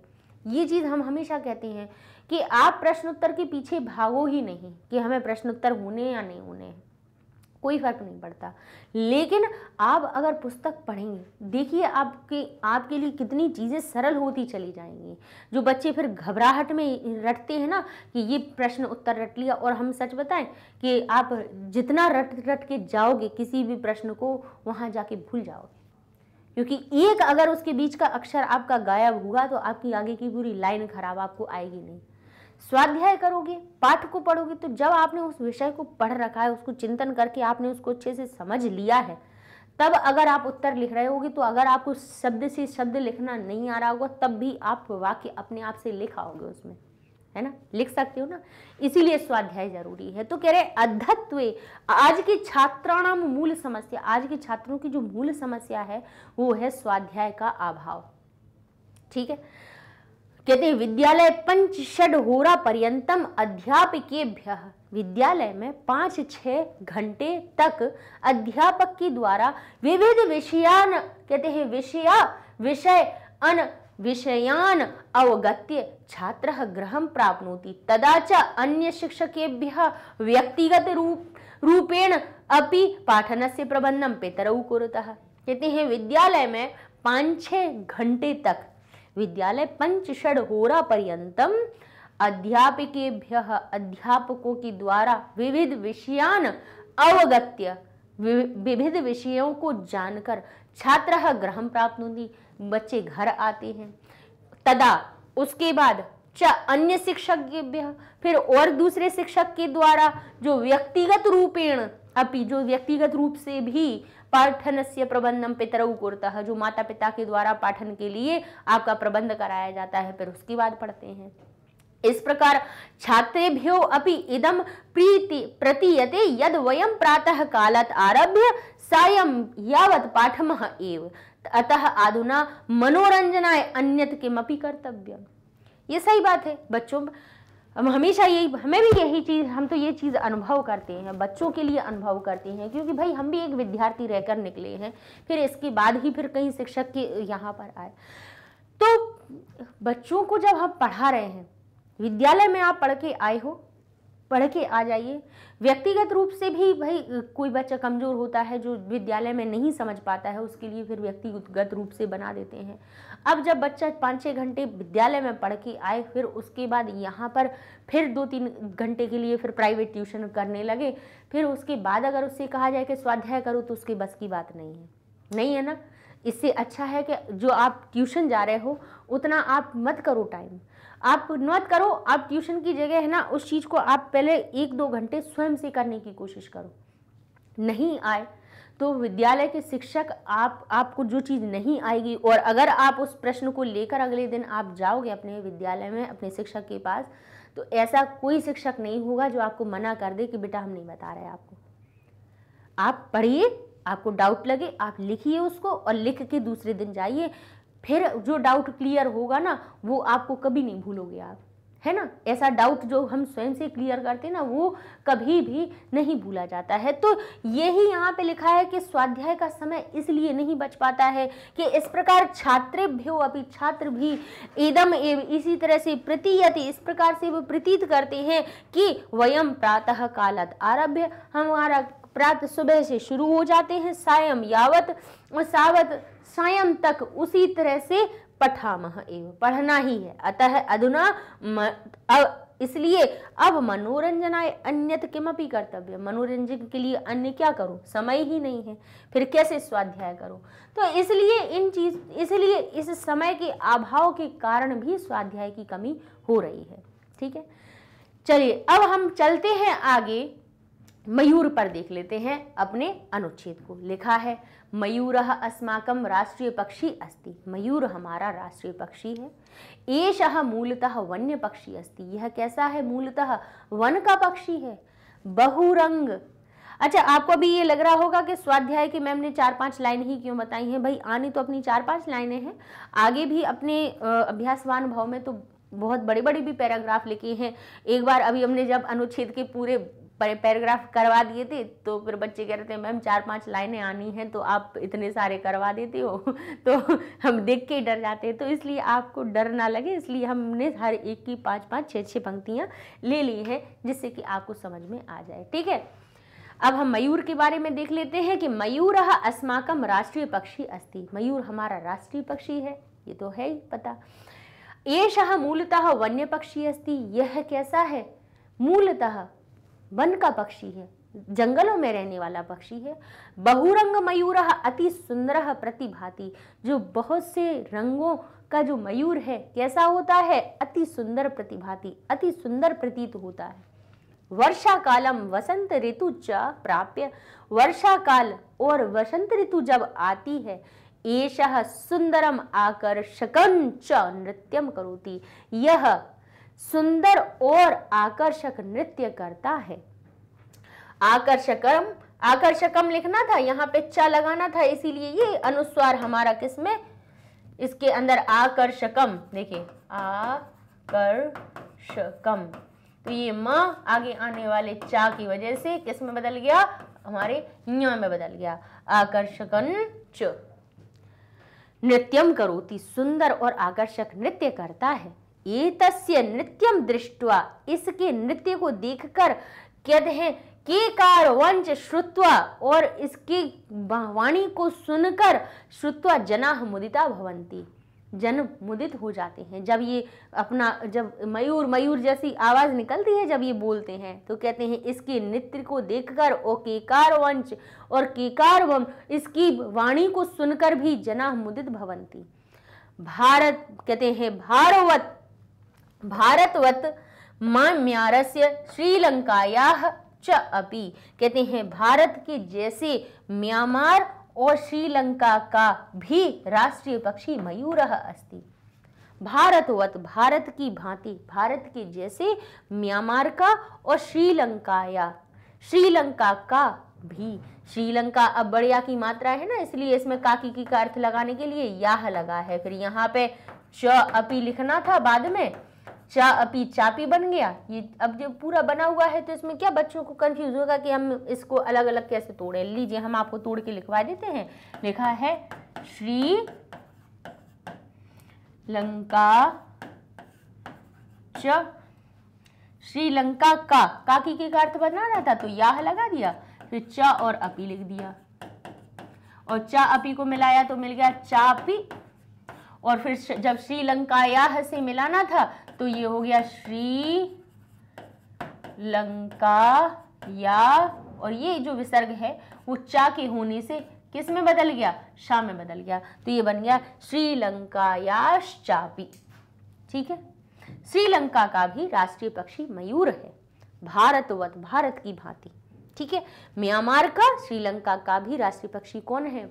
देख लीजिए, दो देश और हैं जो जिसका राष्ट्रीय पक्षी मोर है। ध्यान कर लीजिए। देव, कहते हैं देवा नाम सेनापति कार्तिकेय यस्य वाहनम अपि मयूर एवा अस्ति। और कहते हैं कि देवों के जो सेनापति हैं, देवों के सेनापति कार्तिक के कार्तिकेय स्वामी जो है ना कार्तिकेय वाहनम अपि मयूर एवा अस्ति। मयूर ही है। एव अस्थि से एवा अस्थि मिलकर बना है। एव अस्थि मयूर वाहन किसका है? मयूर वाहन किसका है? स्वामी कार्तिकेय, जो शिव के पुत्र है। कहते हैं, मयूर पिच्छ विना श्री कृष्ण से श्रृंगार अपूर्ण मन्यते। और किसके बिना? ये जो मयूर है पिछ यानी पंख। मयूर पंख के बिना तो श्री कृष्ण का श्रृंगार अपूर्ण माना जाता है। अस्मा भी मयूर प्रजाति रक्षणीय और हमें मयूर प्रजाति की रक्षा करनी चाहिए। कई बार क्या होता है, इतने सुंदर पक्षी को उसके पंखों के लिए उसकी हत्या कर दी जाती है और जो पंख बेचने वाले होते हैं, इन पक्षियों को मार देते हैं और उनके पंखों को बेच देते हैं। तो भाई, अपने केवल थोड़े से स्वार्थ के लिए हमें इतनी सुंदर जो प्रजाति है जो राष्ट्रीय पक्षी है, उसको हमें, उसकी रक्षा करनी चाहिए, ना कि उसको मार देना चाहिए। तो इस प्रकार से ये हो गए अपने दस अनुच्छेद। अब ग्यारहवीं पर और आ गए हैं। एक आतंकवाद वाला है, इसको और देखे लेते हैं कि आतंकवाद क्या होता है। हिंसात्मक क्रिया भी स्वकीय वर्चस्व स्थापनाए भयोत्पादनम अथवा भयस्य वातावरण निर्माणम एवं आतंकवाद उच्चते कहते हैं, हिंसात्मक क्रियाओं के द्वारा अपने वर्चस्व की स्थापना के लिए भय उत्पादनम, भय का उत्पादन करते हैं, या फिर भय का वातावरण निर्माणम ही आतंकवाद उच्चते अपने हिंसात्मक क्रियाओं के द्वारा किसी को मार दिया किसी को कुछ कर दिया। मतलब हिंसा पैदा करके, हिंसा पैदा करके अपने वर्चस्व की स्थापना करना ही आतंकवाद कहलाता है। आतंकवाद क्या है? कह रहे हैं, हिंसात्मक क्रिया भी हिंसा युक्त क्रियाओं के द्वारा स्वकीय अपने वर्चस्व स्थापना अपने वर्चस्व की स्थापना के लिए कि हमारा बोलबाला हो जाए, हमारी बात मानी जाए, भयोत्पादनम, भय का उत्पादन करना या फिर भय के वातावरण का निर्माणम एव भय के वातावरण का निर्माण ही। भयस्य वातावरण निर्माणम एव आतंकवाद उच्यते, जिसको आतंकवाद कहा जाता है। आगे लिखा है, एष केनापि एकेन जनेन समूहेन वा भवितुम शक्यते। एष केनापि एकेन जनेन समूहेन वा ये किसी एक या एक जन एक जन के द्वारा या समूह के द्वारा भवितुम शक्य थे। ये किसी एक के द्वारा भी हो सकता है और जन समूह के द्वारा भी हो सकता है। अयम, इस प्रकार के असामाजिक तत्वई, इस प्रकार के असामाजिक, सामाजिक नहीं कहेंगे। समाज में रहने वाले एक दूसरे से प्रेम भावना की बातें करने वाले लोगों को नहीं कहेंगे। इनको असामाजिक कहेंगे। अयम, इस प्रकार के असामाजिक तत्वई असंवैधानिक क्रिया भी ही स्वकीय, कहते हैं, स्वकीय इच्छा पूरी तुम भिन्न स्तरेशु संचालन मान भवती। इस प्रकार की असामाजिक तत्वों के द्वारा क्या किया जाता है? असंवैधानिक। संविधान में भी, देखिए, भारतीय संविधान में कितनी धर्म निरपेक्षता की बात की हुई है हमारे भारत के संविधान में। कोई किसी की धर्म पर पाबंदी नहीं लगाता है, ये कहते हैं, सबको हर चीज़ की स्वतंत्रता है। इसके बाद भी इस प्रकार की जो असामाजिक तत्वों के द्वारा क्या किया जाता है? असंवैधानिक क्रिया भी। असम जो संविधान में नहीं है ऐसी क्रियाएँ, संविधान में तो अच्छी बातें गई गई हैं। असंवैधानिक क्रियाओं के द्वारा स्वकीय इच्छा, असंवैधानिक जो क्रियाएँ करके अपनी इच्छा की पूर्ति के लिए विभिन्न स्तर का संचालन किया जाता है। ऐसी क्रियाओं का संचालन करते हैं कि भाई गए, कुछ नहीं है, हमारे आर्मी के जवान जा रहे थे बस में जा रहे थे, बम लगा दिया, उनकी हत्या कर दी, चालीस जवानों को मार दिया। भाई क्यों? क्या मिला इससे? ये दिखाना कि नहीं, हमारी बात मानो, नहीं, हम ऐसा करेंगे। भाई क्या है ये? यही आतंकवाद है। ये मतलब हिंसात्मक क्रियाओं के द्वारा अपनी बात मनवाने, अपना वर्चस्व स्थापित करना आतंकवाद होता है।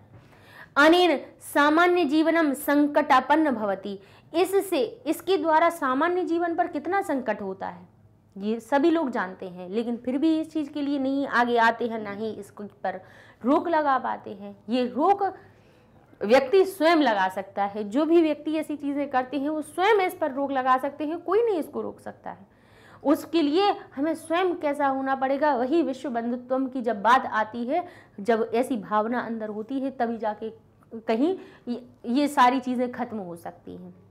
जब सब एक दूसरे को समान देखने लगेंगे, अपने भाई बंधु जैसा देखने लगेंगे, तब ये घृणा और जो घृणा की भावना एक दूसरे के लिए है, वो आएगी ही नहीं, है ना? जो बना रखी है ना समाज में तो कहते हैं, अनेन सामान्य जीवनम, इसके द्वारा सामान्य जीवन संकटापन्न भवती, संकट आपन्न हो जाता है, संकट से घिर जाता है। आतंकवादीन, आतंकवाद के द्वारा ग्रहे, समाजे, देशे, विदेशु चा असुरक्षाया भाव भयन चा उत्पद्यते। कहते हैं, आतंकवाद के द्वारा घर में, समाज में, देश में और विदेश में असुरक्षा का भाव और भय उत्पद, उत्पादित हो जाता है, उत्पन्न हो जाता है। जन सम यत्र कुत्रापि जन समूह यत्र कुत्रापि, कदापि किमापि भवितुम शक्य थे और जन सम कहीं पर भी यहाँ पर कहीं पर भी कह सकते हैं भवितुम शक्य थे कहीं पर भी ये सारी चीज़ें कर सकते हैं। तो भाई, ये सभी चीज़ें हमें नहीं करनी चाहिए। ये आतंकवाद कोई बहुत अच्छी चीज़ नहीं है। कितने हर धर्म अच्छी बातें बताता है और उसी का हमें पालन करना चाहिए। यही एक तरह का एक, भले ही आज हमने इतने सारे अनुच्छेद पढ़े, अनुच्छेद तो हमने सीखे ही, उनका अर्थ तो हमने बताया ही, साथ में कितनी सारी चीज़ें हमें समझ में आई। हमने सब चीज़ों को देखा और बाद में हमने आतंकवाद को भी देखा कि आप खुद सोचिए कि जब आप धर्मनिरपेक्षता, सहिष्णुता की बात कर रहे थे, तब आपके मन में खुद ही अच्छा आनंद आ रहा था। लेकिन जब आपने आतंकवाद की बात सुनी तो आप सुनते ही सुनते आपके मन में अच्छा नहीं लग रहा होगा, अच्छी भावनाएँ नहीं आ रही होंगी। तो फिर हम ऐसे, हमें कभी भी इस प्रकार की बातों को ना ही बढ़ावा देना चाहिए और ना ही उसकी ओर अग्रसर होना चाहिए। है ना? हर एक के लिए संदेश है। बच्चे हैं, आप लोग बढ़ रहे हैं, बड़े होंगे तो अपने मन में जब भी भावना लाएँ तो सबको अपना भाई बंधु की तरह आप देखेंगे तो अपने आप ही देखिएगा, समाज में सुधार अपने आप होने लगेगा और ये सारी चीज़ें नहीं होंगी। ठीक है? इसी के साथ में अपने अनुच्छेद लेखन का ये वन शॉट रिविज़न होता है पूरा। अच्छा बस तरीका यही है कि अगर आप किसी चीज़ का अनुच्छेद लिख रहे हैं तो आप कोशिश कीजिए उसके बारे में पहले पाँच वाक्य अपने मन से सोचिए उसके बारे में, ठीक है? और मन से सोचने के बाद उसको हिंदी में लिख लीजिए, कहीं पर रफ रफ किसी जगह पे आप उसको लिख लीजिए फिर उसमें, देखिए, फिर जब हिंदी में आप उनके पाँच वाक्य लिख लोगे तो उसको संस्कृत में परिवर्तित करना आसान हो जाता है। कैसे? क्योंकि फिर हमने संस्कृत अनुवाद आपको सिखाई ही है। नहीं है तो अभी आप, अब अब हम आपको एक रचना अनुवाद का वन शॉट वीडियो बनाएँगे जिसमें अपन बहुत सारे तरह के अनुवाद करना सीखेंगे। बहुत सारे अलग अलग प्रकार के लकार से भी संबंधित अपन करेंगे। यहाँ जितने भी कारक चिन्ह जुड़ते हैं, उनके आधार पे अपन बहुत सारे सब चीज़ों को जोड़कर अपन उसमें है ना वाक्य बनाना सीखेंगे, ठीक है? तो इस तरह से अगर वाक्य बनाना आ जाएगा तो फिर चित्र वर्णन और अनुच्छेद भी आपके लिए कैसे हो जाएँगे? आसान हो जाएँगे, ठीक है? ये सारे वीडियोस आपको हमारी मैग्नेट ब्रिंस वेबसाइट पे आसानी से मिल जाएँगे। गूगल टैब पे जाएँगे, लिखेंगे magnet brains dot com enter करेंगे आपका वेबसाइट पेज ओपन हो गया। यहाँ पर आपको देखेंगे टर्म टू एग्ज़ाम के लिए आपको चाहे एलेवेंथ हो ट्वेल्थ हो नाइन्थ हो टेंथ हो, सब के लिए सारे टीचर्स लगे हुए हैं कि टर्म टू के एग्ज़ाम आपके अच्छे से अच्छे हों। तो आप जिस क्लास के हैं, उस चीज़ को आप सिलेक्ट कीजिए, वही पेज आपके सामने ओपन हो जाएगा। क्लास टेंथ के टर्म टू के एग्ज़ाम का अलग कोर्स का अपना अलग पेज बन चुका है। जहाँ पे भाई हर एक जैसे संस्कृत के हैं तो संस्कृत के सारे चैप्टर्स यहाँ मिल जाएँगे और साथ साथ में अभी जो वन शॉट रिविज़न में बना रहे हैं, वो भी आपके सामने आ जाएँगे। तो इस तरह से आपको पढ़ना आसान हो जाएगा, ढूंढना आसान हो जाएगा तो आपको पता है कि हमें टर्म टू में क्या क्या पढ़ाई करनी है, सीधे आप जाएँगे और अपना लीजिए और अपना याद कर सकते हैं आसानी से। ढूंढेंगे, ढूँढने में परेशानी नहीं होगी तो पढ़ भी आसानी से लेंगे जल्दी। तो पढ़ते रहिए मैग्नेट ब्रेन्स के साथ। में मिलते हैं नेक्स्ट वीडियो में। चित्र वर्णन को आपकी बार करवाएँगे और उसके बाद अपने रचना, अनुवाद का भी वन शॉट वीडियो बनाएँगे। भले ही थोड़ा सा लंबा होगा, क्योंकि अपन उसमें बहुत सारी चीज़ों को लेकर चलेंगे, बहुत तरह के वाक्य बनाएँगे। लेकिन अपन एक वन शॉट रिवीजन में ही सारा अपन अनुवाद करना सीख लेंगे। मिलते हैं नेक्स्ट वीडियो में। तब तक के लिए धन्यवाद।